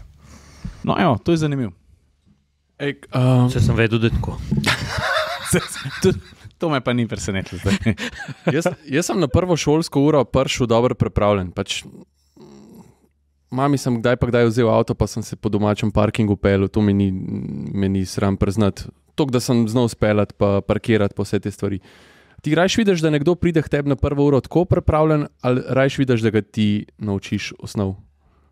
Sploh nimam tega, zato ker če zdaj gledam, tako kot si zdaj rekel, iz svojega vidika, tako sem bil tudi jaz. a ne, In zelo težko bi mi kdo tam pa 16 vzel, da jaz ne bi imel avta vozil. ne. In zdaj tudi zdaj obstajajo taki mulci, ki že pri 15 sedijo za volanom. Pa imamo na drugi strani eh, fante, ki so zrasli na kmetiji, ne, desetega leta na traktorju, če smo čisto odkriti. Ne, kaj naj tako rečem? ne, Pozabi vse, kar si se do zdaj naučil, zdaj greva z nule. ne. Sploh ni. Jaz, jaz nikoli tega ne, ne, ne, ne ocenjujem, kaj je boljši in kaj je slabši. Bolje je pomembno, da pri teh, ki znajo, ne preskakuješ preveč. Da ne narediš prevelikega koraka, wow, vse si full dober, yeah. zato ker po 15 urah se ti pa zalomi, zato ker te unud od zadaj zelo lepo počasi, step by step ujame. Se pravi, moraš ga oceniti. moraš. Ga... Ja, ampak se da, mislim, ni, ni. Jaz, jaz ne vidim. Ni mi tako, da bi zdaj rekel, aha, nikoli niste vozili. Zato rečemo, če boste prišli na poligon, ste videli, da moji kandidati prvo uro vozijo z zaprtimi očmi. To je tudi tako fenomen, to je sam pungertnik, po mojem, pa noben Čak, drug. čak, tega pa ne vem. Jaz Kaj? tudi ne. Čak, Oči so naš največji sovražnik v prometu, tako jaz gledam na promet. Ja, to, kar vidiš, uh, to, Ja. kar vidiš, to te preseneti. Drži? Malo Drži. teza. Oči so naš. Največji sovražnik v prometu, za moje pojme. Ker če ti ne vidiš nevarnosti, Oči. ne cvikneš. Oči. Oči ali oči? Uči, ne oči. Uči. Ker v Mariboru bi bil Ati. Ja? Ati. Ati. Ok, ok. Ja. In zdaj, prvo uro, ko imaš ti kandidata, ki je poln stresa, poln adrenalina, a ne, in ga daš na poligon, in zdaj kako vsi učimo uh, speljevanje, ali pa kako vsi starši, ali pa večina staršev, počasi spuščaj sklopko, počasi spuščaj. In, in oni spuščajo počasi sklopko, ampak predn priješ ti do točke prijemanja, je kar nekaj cajta traja, drži, a ne, odvisno zdaj, v kjer mu avto si. Um, in ko se pa avto začne premikati, pa seveda naše oči to zaznajo. In ko naše oči to zaznajo, se ustrašiš in takrat največkrat narediš neumnost. Ne? Cik, in cukneš. In jaz imam tako, dobo sem na eni prireditvi, tako ful lepe, une za spat. In to mu zmontiram na učke. a ne. In rečem, prva zadeva, ki je danes bo trenirala, prvič sklopko, drugič pa, kako mi zaupaš. a ne. A veš, koliko je to pomembno? Ne? Zdaj je mene presvetlilo ono, kar je prej rekel. A veš, ko smo se na začetku pogovarjali o hendikepiranih ljudi, ljudeh. Ki, ki izostri pač ena druga čutila. In dejansko, če ti pokriješ oči, poslušaš motor, pa moraš se zanesti, da Na druga začutiš čutila. gibanje.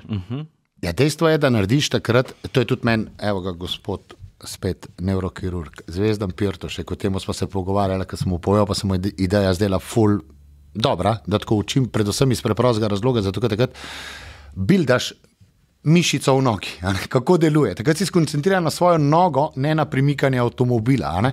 In kaj je najlepše, jaz nimam prvo uro problema, a gleda v menjalnik, zaradi mene lahko gleda, sem vidga ne. a ne. Tako da roko more spraviti do menjalnika ne, in je to čist, čist neki drugega. Ampak to je samo prve dve uri, ko sem na poligonu. ne, In to poskušamo.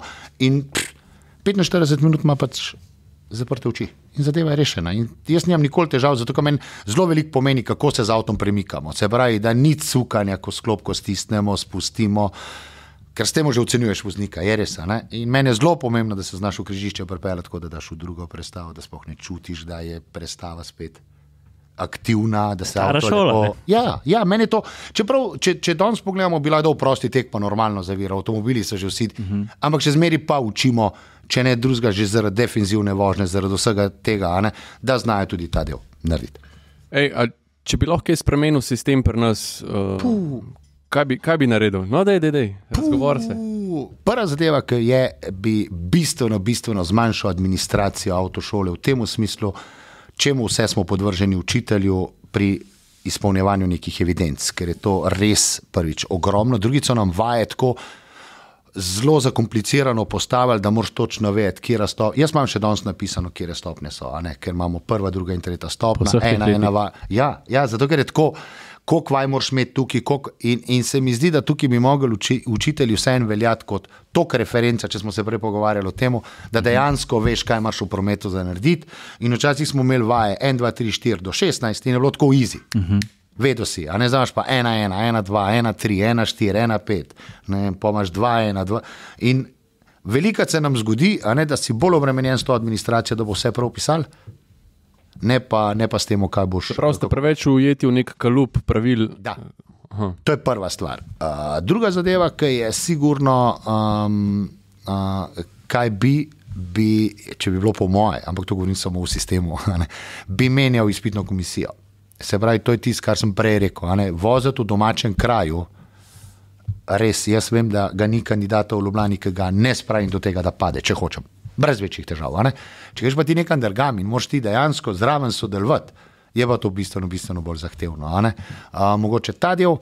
Um, in pa mogoče še več možnosti za izobraževanje samih učiteljev, uh, bolj v širino. a. Da, da ljudje se spremenjamo, zdaj nismo več, bomo rekli, jaz, jaz spoh ne pravim tako. Zdaj smo res tim v avtu, ni več tega, kar je bilo pri nas. Jaz se spomnim mojega inštruktorja, on je mene pretepel skoraj. Dejansko, ko sem zgrešil s smernikom, stik dobo za uho, brez večjih težav, pa nikoli nisem pomislil, da bi še kdaj pozabil. Ja, danes jaz to ne znam predstavljati, mojega 18-letnika. Ne, ja, ne moreš, ne, Ja, ne gre tako v času enostavno. ne gre. Ja, ja, ja. Um, in predvsem tukaj ta administracija, se mi zdi, ta nadzor, velikrat naredi več negativnega kot pozitivnega. Dejstvo pa je, da nekateri, tukaj mi je pa zelo dobro prišel, ne vem, če kdo slišal od uh, Predina, ne Predina, uh, Kreslina. Kreslin. Ne gledam petek zvečer, ampak zadnjič smo slučajno prišli uh -huh. in sta bila Kreslin pa Meglič kot gost in je Kreslin ful dober stavek povedal, ki mi je bil tako, "Ck, to si treba zapisati. Svoje otroke učim, da delajo pravilno. Ne. Včasih to ni všečno, ampak je pravilno. In včasih tudi pravilno ni donosno. In se mi zdi, da tukaj v šolah vožnje bi mogli prav na tem delati. ne. To pač ne more biti donosen posel, to ne more biti biznis, kjer si bogat, ampak mora biti biznis, kjer delaš bolj varne ceste. Uh, izpitnik v zadnji sedi. A se ti zdi, da je več tistih ljudi, ki iščejo napake ali ki iščejo znanje?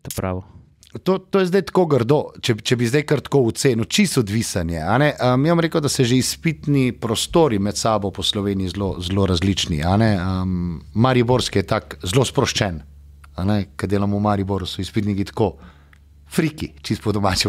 Brije roko, da, kak si, kaj bo, bo. Vse znaš pelati, seveda znaš pelati. Da gre tu na poligon, tu boš nekaj naredil. pa- Drugače, ne. Um, ne vem, jaz ne morem reči, a se išče več napak, a se išče več dobrega. Dejstvo pa je, da je to glih tako, kot celo šolstvo ali pa cela avtošola, zelo, zelo star sistem. In zelo težko je zdaj preuzgojiti nekoga, ki je 15 let delal po enem sistemu, zdaj v nek nov pogled. Težko je, čisto odkrito. In vse mi lahko govorimo, da iščemo. Ampak mi smo še zmeraj, jaz se spomnim, jaz, če tako nazaj pogledam, pa upam, da me naj kdo demantira, ampak zdi se mi, da od leta 91 pa do danes smo mi na praktičnem delu izpita nekje na 50%. Se pravi, da nismo nič, in to, to, to je meni bolečina. Ne, to je malo bolečina Ja, meni je. Osebno meni definitivno je, da nismo spremenili, da bi bili, ne vem, danes v praktičnem delu, ne vem, 70-odstotni. Se pravi, pripravimo to dobro, da res, ne vem, 3 na 10 pač ruknejo, uh Mhm. -huh. ne pa 5. Ok, te bom pa drugače vprašal. Si mogel kdaj iskreno zaščititi uh, kandidata? Zelo. In imel sem tudi prepoved, dva meseca vožnje, oziroma dva meseca hoje, eh, nisem smel hoditi na izpit, glih iz tega razloga. Ja. A tudi izpitnik prepove ali neka komisija? Tako, izpitna komisija mi je takrat to prepovedala, um, dolg nazaj, ampak sem še danes ponosen na to, da sem to tako naredil, zato ker se mi je zdelo, da je bil padec popolnoma neupravičen, razlogi za to popolnoma neupravičeni, ampak takrat je fant padel zaradi mene, ne zaradi sebe, zato ker sem jaz bil mlad inštruktor in je bilo ful dobro na teh mladih, pač bomo rekli. Se mal sprostiti, a ne, in se takrat nisem pustil, se takrat sem mislil. Takrat je bila moja karijera tako zelo na, na nitki v tem smislu, zato ker um, ni bilo ok. Definitivno takrat to ni bilo ok, ampak takrat sem čist, po mojem, da zelo čustveno, pa zelo nagonsko odreagiral in odreagiral tako, da sem dobil dva meseca prepovedi. Ja. Ampak uh. smo preživeli. A sem ljubi, A pa ta zadeva z izpitnikom pol ostane tako dosto osebna, pa, pa ker verjamem, da si ga še kdaj srečal. Zdaj bom tako povedal, da s tem izpitnikom, zdaj po tolikih letih smo mi tako. Bestiča. Nismo glih bestiča, ampak zelo velikrat me pokliče, zelo velikrat se pogovarjamo v kakšnih situacijah. Zato, ker smo oba se iz tega nekaj naučila, mogoče je tudi on takrat. Treba je eno stvar vedeti. Učitelj vzame svojega kandidata zelo čustveno. Ti si z njim 20 ur v avtu in, in, in on je tebi vse in ti veš, da. da, da Ali pa 30, ali pa 40, se nam na robe razume. In ti veš, da zna on pelati. In potem, ko poslušaš včasih kakšne take.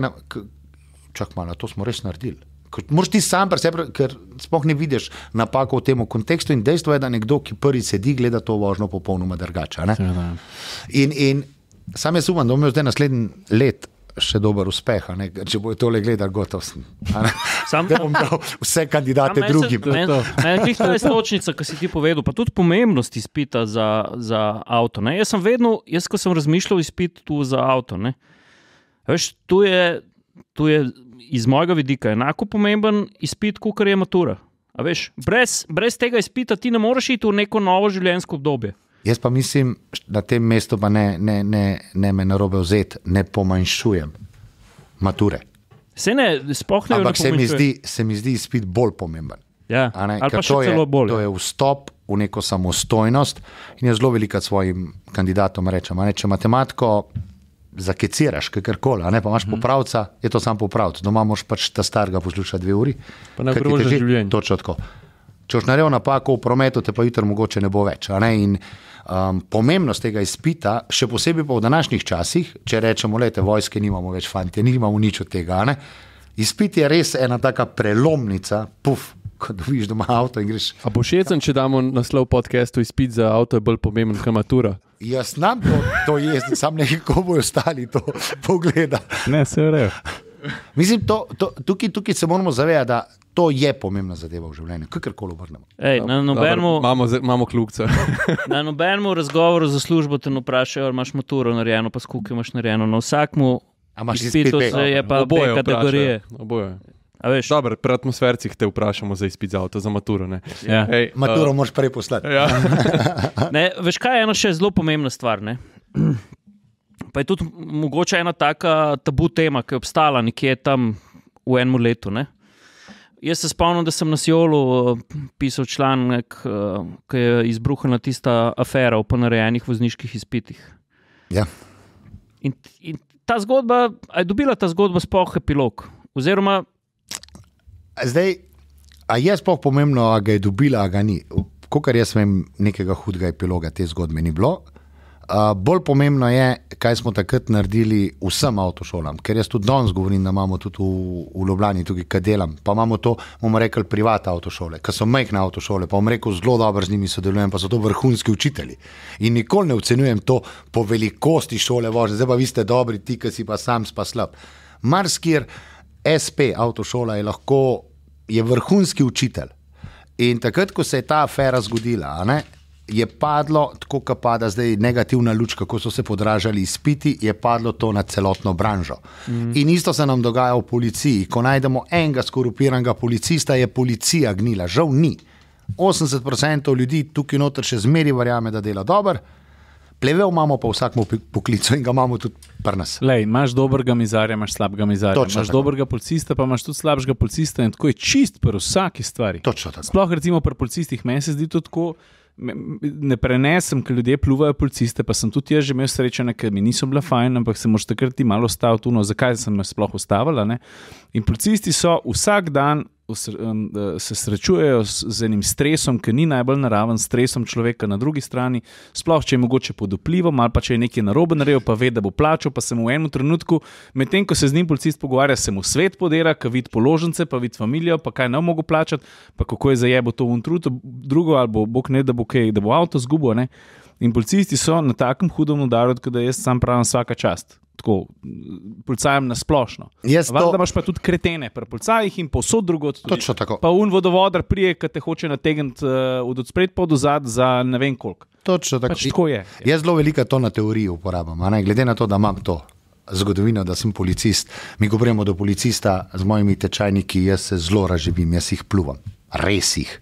Policiste kot policiste. In tako dobim tudi njihov odziv, in tako pluvamo, kot norci vsi. To cela učilnica pluva, res po tem sistemu. Ampak vedno je moje prvo vprašanje, ki ga postavim po temu, ob dveh zjutraj, ko vas nekdo napade, kličete koga? Mamo, očeta, urgenco ali policaja. Kakorkoli obrnemo in vedno kličemo tega, ta hudobnega, ki je tako, tako vse zasral. In pol za piko na i povem, da sem 16 let to počel. In dejstvo je, da je zelo enostavno pljuvati po drugih. To, to zmeraj rečem. Dejstvo je, da je zelo enostavno poiskati napake pri drugih. Če pa hočeš najti nekaj kvalitetnega, dobrega, se moraš pa v to stvar zelo zagledati, biti fokusiran noter, da najdeš pomen. To, da pa najdeš napako na enem, pa like this. Um, veš, kaj moramo še obdelati? ne? Uh, prej smo se pogovarjali o starejših, ne? Pa tudi si lepo povedal. Ne? Dobra družba je takrat, kjer najdeš normo, da ohraniš mobilnost, ohraniš to. Po drugi strani, na drugi strani so mladi, ne? ki so tudi doskrat neupravičeno etiketo nosili. Nekih eh, predrznih, eh, nepremišljenih šoferjih, pa tudi danes vidimo, da se prometna varnost prav pri mladih uh, izboljšuje. Najprej, najprej mi povej, kakšen feeling ti. A, a tebi se res zdi, da mladih mobilnost oziroma vožnja avtomobila kot tacga ne zanima več tako kot včasih? Jaz sem tako srečen na to vprašanje, zmeri, ki me se pa zdi, jaz sem mogoče, jaz, imam, jaz tukaj mogoče v pravličnem svetu živim ali pa v kakšnem usporednem, meni se ne zdi to, da dejansko ne bi. Dejstvo pa je, da se, da je, da se pa vidi, da se uh, po večini kasneje odločijo za izpit, a ne zdaj, zakaj je temu tako, je to res. Uh, Da prej doštudira, ali pa da to dela še lepo pri faksu. Tukaj se treba tudi zavedati, za meno dekle iz gimnazije, ki enostavno reka: Ne morem, ne morem, zato je pritisk v šoli tako velik, da nimam možnosti, oziroma se ne morem niti spraviti, da bi tukaj zraven izpit delala, mi je pa pomemben. In sva predstavlja, sva rekla, ok, pač počakva, da zdaj maturo da skozi. a ne. Ampak da bi pa rekel, da je zdaj. Tako kot vsi govorijo, ampak meni je bilo pet let nazaj ful strah, da čez pet let nam je ok delati, ker bo že mobilnost kovčk. Da, ampak jaz mislim, da še ne, ne. Druga zadeva je, da Slovenci smo tudi kot narod še zmeraj zelo vezani na, na svoje kline koničke, tako ali pa drugače. Jaz mislim, da do svoje upokojitve bom še lahko kar nekaj ljudi naučil, pa jaz mislim, da nav toliko upada pri tem, da, da, da ne bi vozniki vozili. In tukaj lahko dokazujemo z najmladim voznikom, a ne ker si glih izval. Ej, Tukaj meni se zdi, da si ta pravi človek za to vprašanje, ki smo že pri mladih. Ma dobro, ne samo mladih, nasploh. A Slovenija rab dirkališče? Ja, jaz ga rabam. Zakaj? Jaz to rabam. Zakaj, zakaj dirkališče in ne, ne, ne samo dirkališče, da se nam na robe razumeli? Jaz pravim, da dirkališče je vedno pika na i. Um, bomo videli, koliko bo tudi dirkališče um, obiskano. Zato, ker na dirkališču se pa res uh, pokaže, koliko znaš voziti. Ker ko, če gremo mi štiri zdaj tekmovati, tako zelo plastičen izziv, iz Ljubljana do Maribora ali pa iz Ljubljana, ne vem, do Domžal, bo pač zmagal tisti, ki je najbolj utrgan od nas štirih, pa rečete, kar hočete. Če gremo pa zdaj mi na dirkališče in g- štoparce vklopimo, bojo pa govorile desetinke in tam bo moj moški ego lahko zelo hiter padel. In zelo hitro, bojo, šit, za pol sekunde me da v enem krogu dol. Medtem ko na cesti pa ti ne dokazuješ svoje sposobnosti vožnje, ampak samo z Pripravljenost tveganja. Točno tako. In, in iz tega vidika jaz vidim dirkališče kot nekaj zelo dobrega, predvsem iz tega razloga, um, zato bi se lahko na eni strani sproščal, na drugi strani um, lahko preizkusiš. Um, jaz sem bil tudi na Verdu, pri, pri Prosencu našemu. In jaz vam povem, jaz sem bil v zadnjem krogu, jaz sem bil Sebastian Loeb. Jaz vam zdaj povem, čisto odkrito, jaz sem se tako pel, pf, jaz sem bil res nor. Dokler se ni un inštruktor za mene usedel. In me on pol še dva kroga pelil, in pa so šel ven tako poklepan. a ne. Šit, kje sem. Zato ker vožnja in objestnost na cesti za moje pojme nimata nič skupnega. Tukaj je samo zavedanje, pa ne zavedanje nevarnosti. Mene sem skrbi, ko bomo enkrat dobili dirkališče, ne? da naprimer taki egotriperji, ki so veliko pripravljeni tvegati na cesti, se dejansko ne bodo niti upali priti na dirkališče. Ne? Mm. To je edina moja skrb, ki mene sikera, zato ker pač pol pokažeš ranljivost. Ne? Pol ti pokažeš ranljivost, da ti si pripravljen na, na račun nekoga drugega tvega tudi življenje ali pa hudo prometno nesrečo, tam, ki bi pa res pokazal, da znaš voziti, bi bil pa minusek. Ne? In, in to je tisto, kar je zelo velika. ta, ne, To je tudi med inštruktorji, ki smo na Vranskem, pa so izobraževanja, pa so kakršna koli tekmovanja. Tudi tukaj se zelo hitro vidi. Um, Začeli smo danes, smo vsi krvavi pod kožo in zelo velika, tako pri inštruktorjih, pa smo vsi zelo zavestni, kako varno, da, da, da, dokler ne pržgeš toparce. Mm. Ko štoparce pržgeš, padejo ja. zadeve in takrat vsem poskušamo biti kot moški najboljši, kakorkoli obrneš. ne. Zdaj ne govorimo o nekem objektu, da to mora biti, uh, veš, Hockenheim, ne, karkoli. Uh, govorimo, lej, izpostavil si kamnolom Verd. ne. Ja.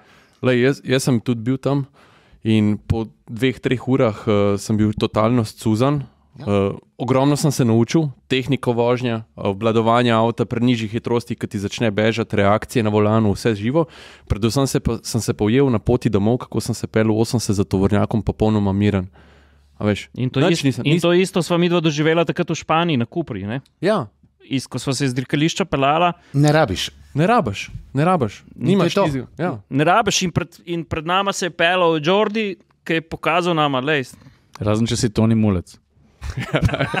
On gre pa posod hiter. Ne, ampak dejansko, tako kot praviš, pred nami se pelil tovarniški, tovarniški voznik od Kupre. Ne? Vidiš, dojemaš, vidiš, kako je navožen, probaš mu slediti, vidiš, da dela fizika, da vse dela in da tega ne moreš na cesti početi. In da je tudi take stvari na cesti početi v resnici brez veze. Sam škar star, jaz, reš, jaz mislim, da je, da je večji problem tudi to, če mi uh, se en čarobna palčka, pa imamo jutro pisto tlele, 200 metrov stran, pa, pa če bi bila bi, mogoče za res poceni stop, da une bodale, ki so na cesti, se doskrat sploh ne bi šli na pisto. Ja, saj spravit, o ker tem to je stvar, govorimo, ne. ja. stvar objestnosti, stvar odnosa, ki ga moramo popraviti pa z izobraževanjem, pa z ničemer drugim. Pa prva stvar, ki je-. Zdaj neke statistike govorijo, da če bi 20% vseh voznikov vozilo skladno z vsemi pravili, bi se promet umiril. a ne. To pač eh, Jure Kostanšek mi je to. a ne. Se pravi, jaz zmeri to govorim in, in tudi ko poskušam učiti, ne koncentriramo se na 10%. Koncentriramo se na 90% ostalih, zato ker tukaj lahko naredimo, ker ne moreš prepričan ga prepričevati. Zato, ker pač ne gre, zato, ker smo samo vsak na svoji strani in, in, in samo argumente mečeva en drugmu in nikamor ne prijemo. Imamo pa 90% ljudi, ki pa želijo biti bolj varni, ki si želijo mm. voziti normalno, bomo rekli, ne, in pomagati predvsem tistim. No, se tudi prej, ki si izpostavil. Ne? Jaz sem hotel tudi kako se je ta dogma spremenila tudi o tem, kako mladi dojemajo promet. Ne? Mislim, zdaj le poteka spet uh, uh, uh, Najmladi. novo šolsko leto uh, Vozniške akademije mladih. In meni je, meni je tu najbolj dragoceno pri pr tej zadevi, kako ste zasnovali vaje, ne? da tam se res izlušč dober voznik. Kompleksen, v vseh primerih dober voznik. Ti si bil zraven pri teh vajah, veš, kaj ste naredili, pa tudi polka si te naše slovence, najboljše mlade voznike, pelil v Madrid eh, na, na mednarodno tekmovanje, se je pokazalo, da nekaj delamo prav. Ne?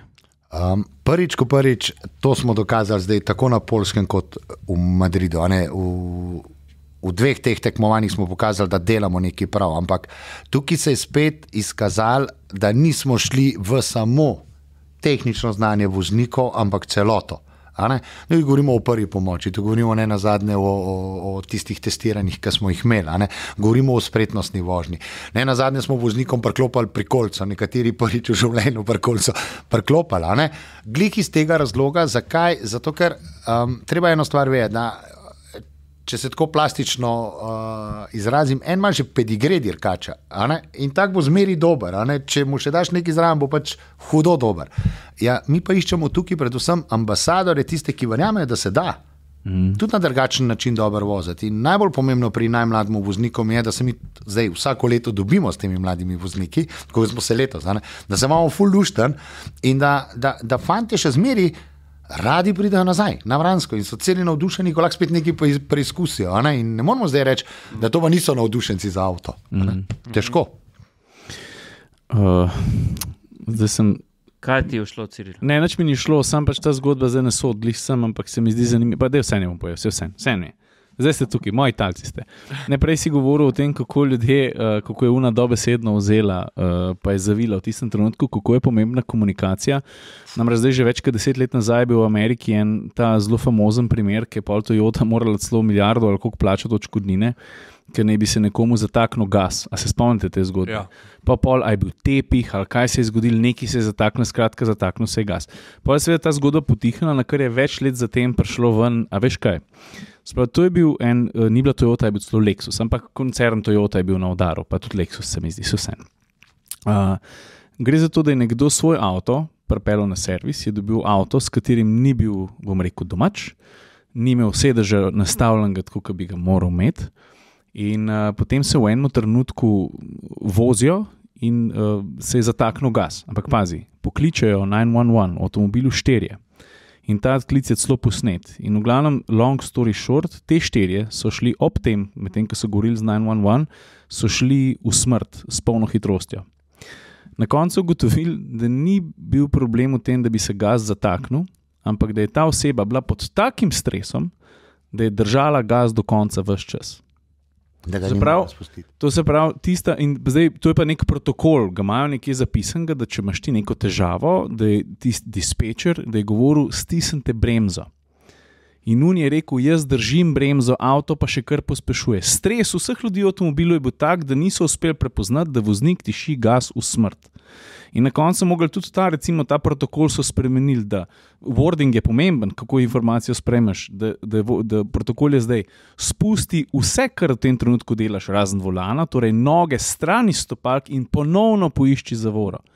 Hočem reči, kaj stres lahko naredi Ja. ja. človeku. Uni so šli in ta je 911 call, mislim, da je na YouTubu.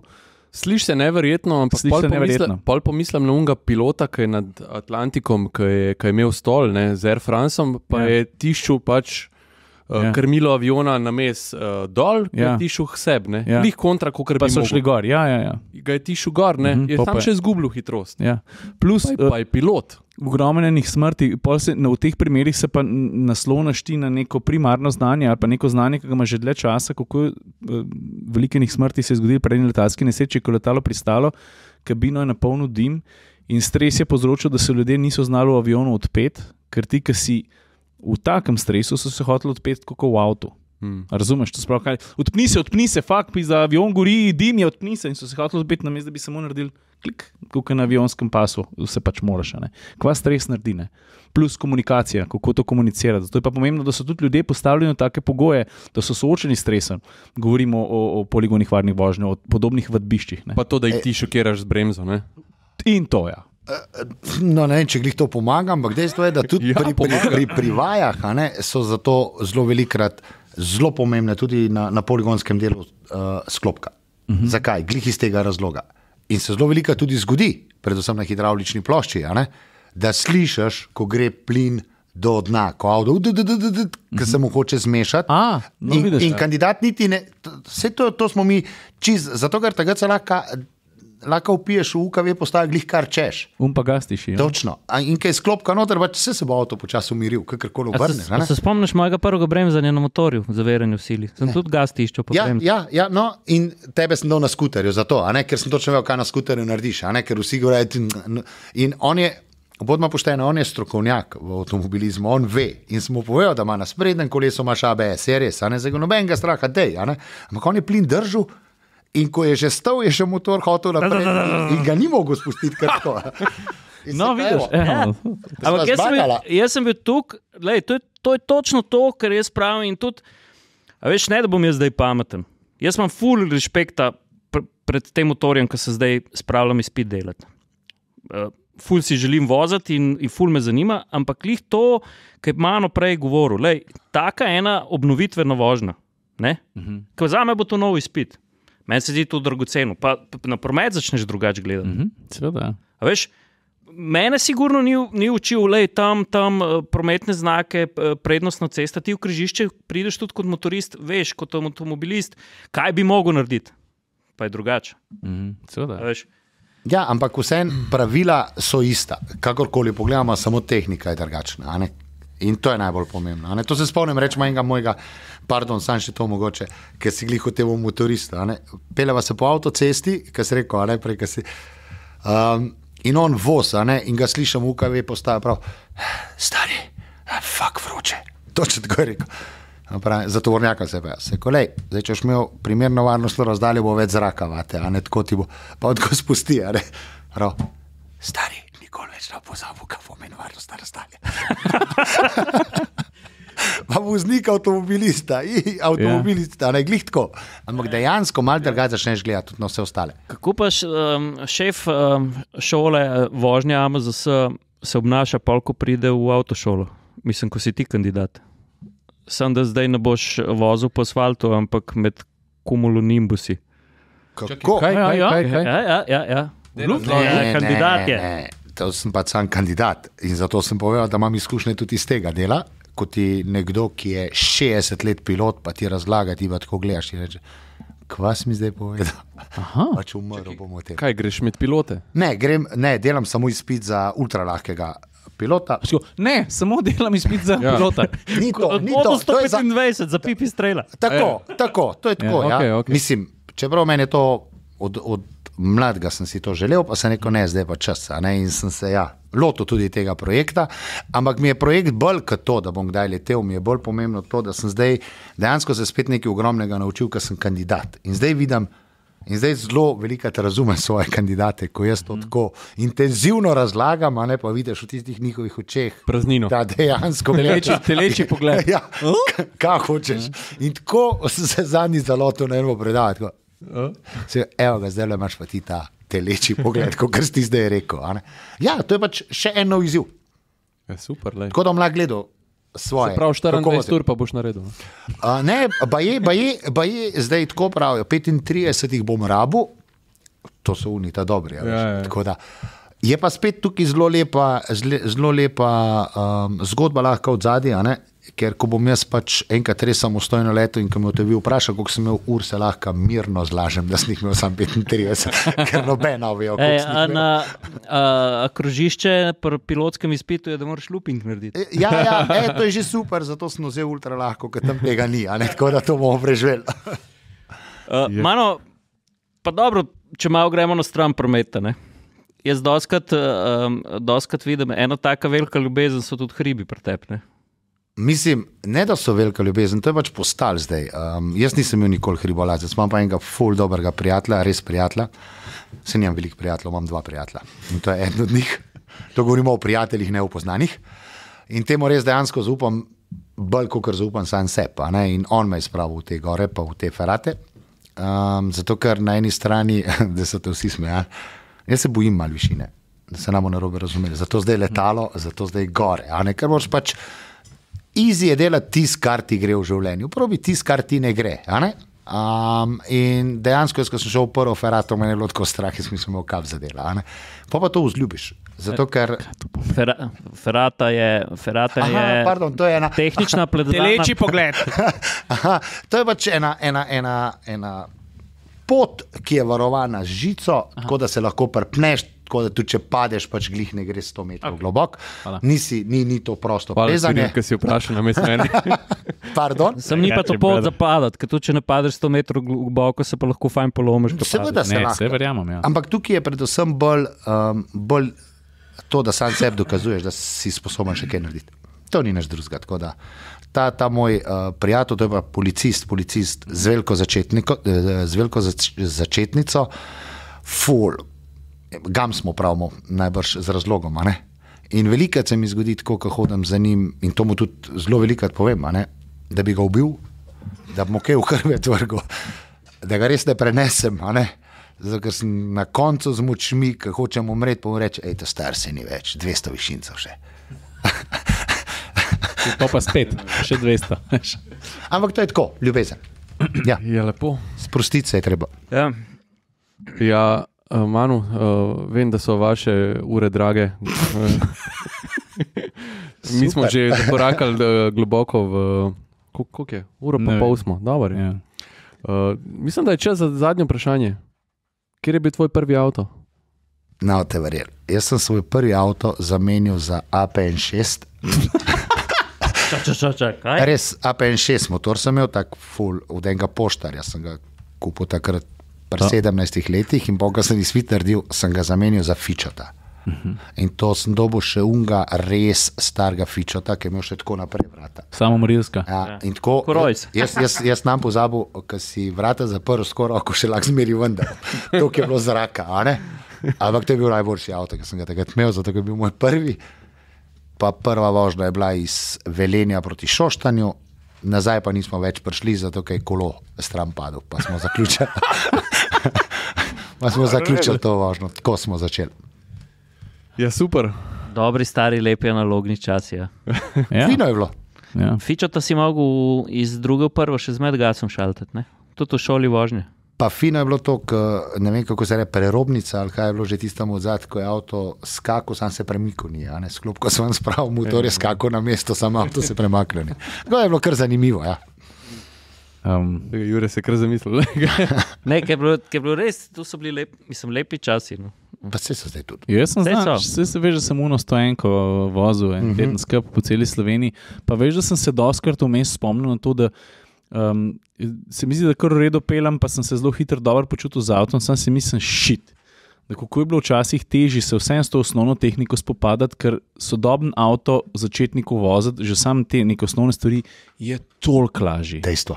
Včasih, Ja. pa ti si še rekel, Jure, pa je bilo treba še kakšen cvišen gazdati, pa so bili avti zmahani, pa niso bili to vedno novi avti. Mislim, ti si imel res ogromen na pladnu, ker si se šel učiti voziti. Mislim, zdaj se usedeš v avto, že sam smerna stabilnost na avtocesti, stari stojenka, jugo, lado, takrat, ko sem me testiral. Ti na avtocesti v sodobnem avtu, približno naravnost, pa greš naravnost, tam prvno avto moraš skozi popravljati smer, stokrat bolj pozoren. Ja. Bremze slabš primajo, ja. sklopka je trša, uh, kaj zaškrta vmes, moraš biti res dosleden, ker ti sklopko pohodiš, le takrat lahko ročico premakneš. Pri avtomatiku nimaš teh skrbi, mm. pa tudi pri sodobnih ročnih menjalnikih, ne? druga zgodba. Okay, zdaj smo spet. Mano, kdo bo pa avtopilote naučil voziti? A ti se boš usedel v avto, pa se pelal Ne vem, kdo jih bo naučil. brez Mislim, volana. to, to, to, jaz, jaz upam, da ne. No. Mislim, drugačko, poskusil bi to. Tako iz vidika adrenalina, da bi pa to imel, pa ne bi imel. Ne? Se Mislim, rek- a si predstavljaš čas, da bi klele pred atmosfersko pisarno dol dal, da mi je eno ulico v Sarajevu, ne, v navigacijo. Pa Titova najbrž je, vse posod Tito. Tito, hodiš ulica na v Sarajevu, vozi me čez Balkan. Mislim, zdaj se spet tako pogovarjamo. A smo verjeli leta 1998, da bomo imeli vse tle gor? Nismo. Ja. Noben od nas to ni verjel, pa danes imamo. a ne? Um, Tako da, rekel, vse rekel, ni njegova skrb, lej, vse rekel, da ima dela dost, da bo, da bo svoje oddelal, tako da lej, Drugi se ne pa- rabo te misliti. Vi, ta mladi, se pa borite ja. s tem, a se bojo avti sami vozili. ali ne. Jaz, jaz ne bom se usedel v avto brez volana, jaz sem to sklenil, to sem star. Zapišem zdaj. Ja, Jure prav. Šel zarečenega kruha, kako je dobro. Dober. Hej, the best. Uh, Manu, a imaš naše karte? Jaz sem bil to z Cirilom na Vranskem, kjer je rekel, da ste čisto vse prodali in jih nisem dobil. In zdaj Ciril. Ciril, dej asistenco. Dej Manu ene karte. Rano izvoli. Vse sem jaz vedel, da jih bom dobil, sam nisem vedel, kdaj. Hvala. Prosim. Ej, vsem ostalim pa karte so na voljo še zmeraj, če želite na nek način podpreti tale podcast, ki ga Mhm. tako, ali tako serviramo za stona. Ne? In uh, doskrat naletimo na kakšno vprašanje, kako lahko podprete podcast. Jaz vedno rečem s kakšno oceno, s kakšnim komentarjem. Ja. Uh, seveda tudi na ta način, da, da damo mi nekaj v zameno, in evo, te karte so idealna taka priložnost, da, da za podporo podcastu dobite tudi nekaj koristnega. No? Jaz imam roko luft, sam še to. Še Daj. vedno so na voljo majice od, uh, posvečene. Tako. našemu najbolj poslušanemu in najbolj gledanemu podkastu.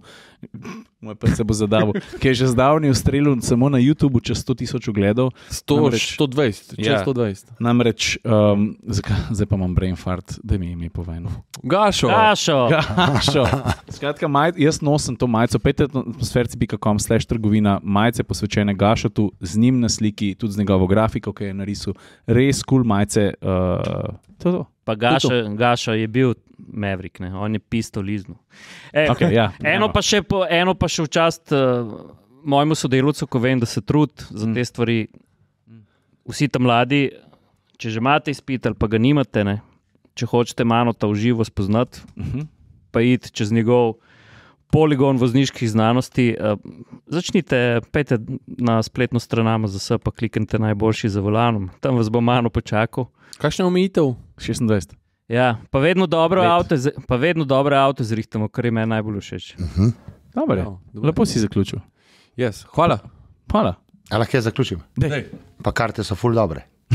Kako če jih nisi videl? Ali si jih videl? Sva igrala A, pa pa in je tako, uh, da se da marsikaj naučiti. E, A vidiš. Uh -huh. Če pa inštruktor to reče. Ja. pa- Da, da. Tako da res drži. mi danes začnemo zvečer. Ajde, čau. Adijo, hvala. čau, lepo Hvala. snete.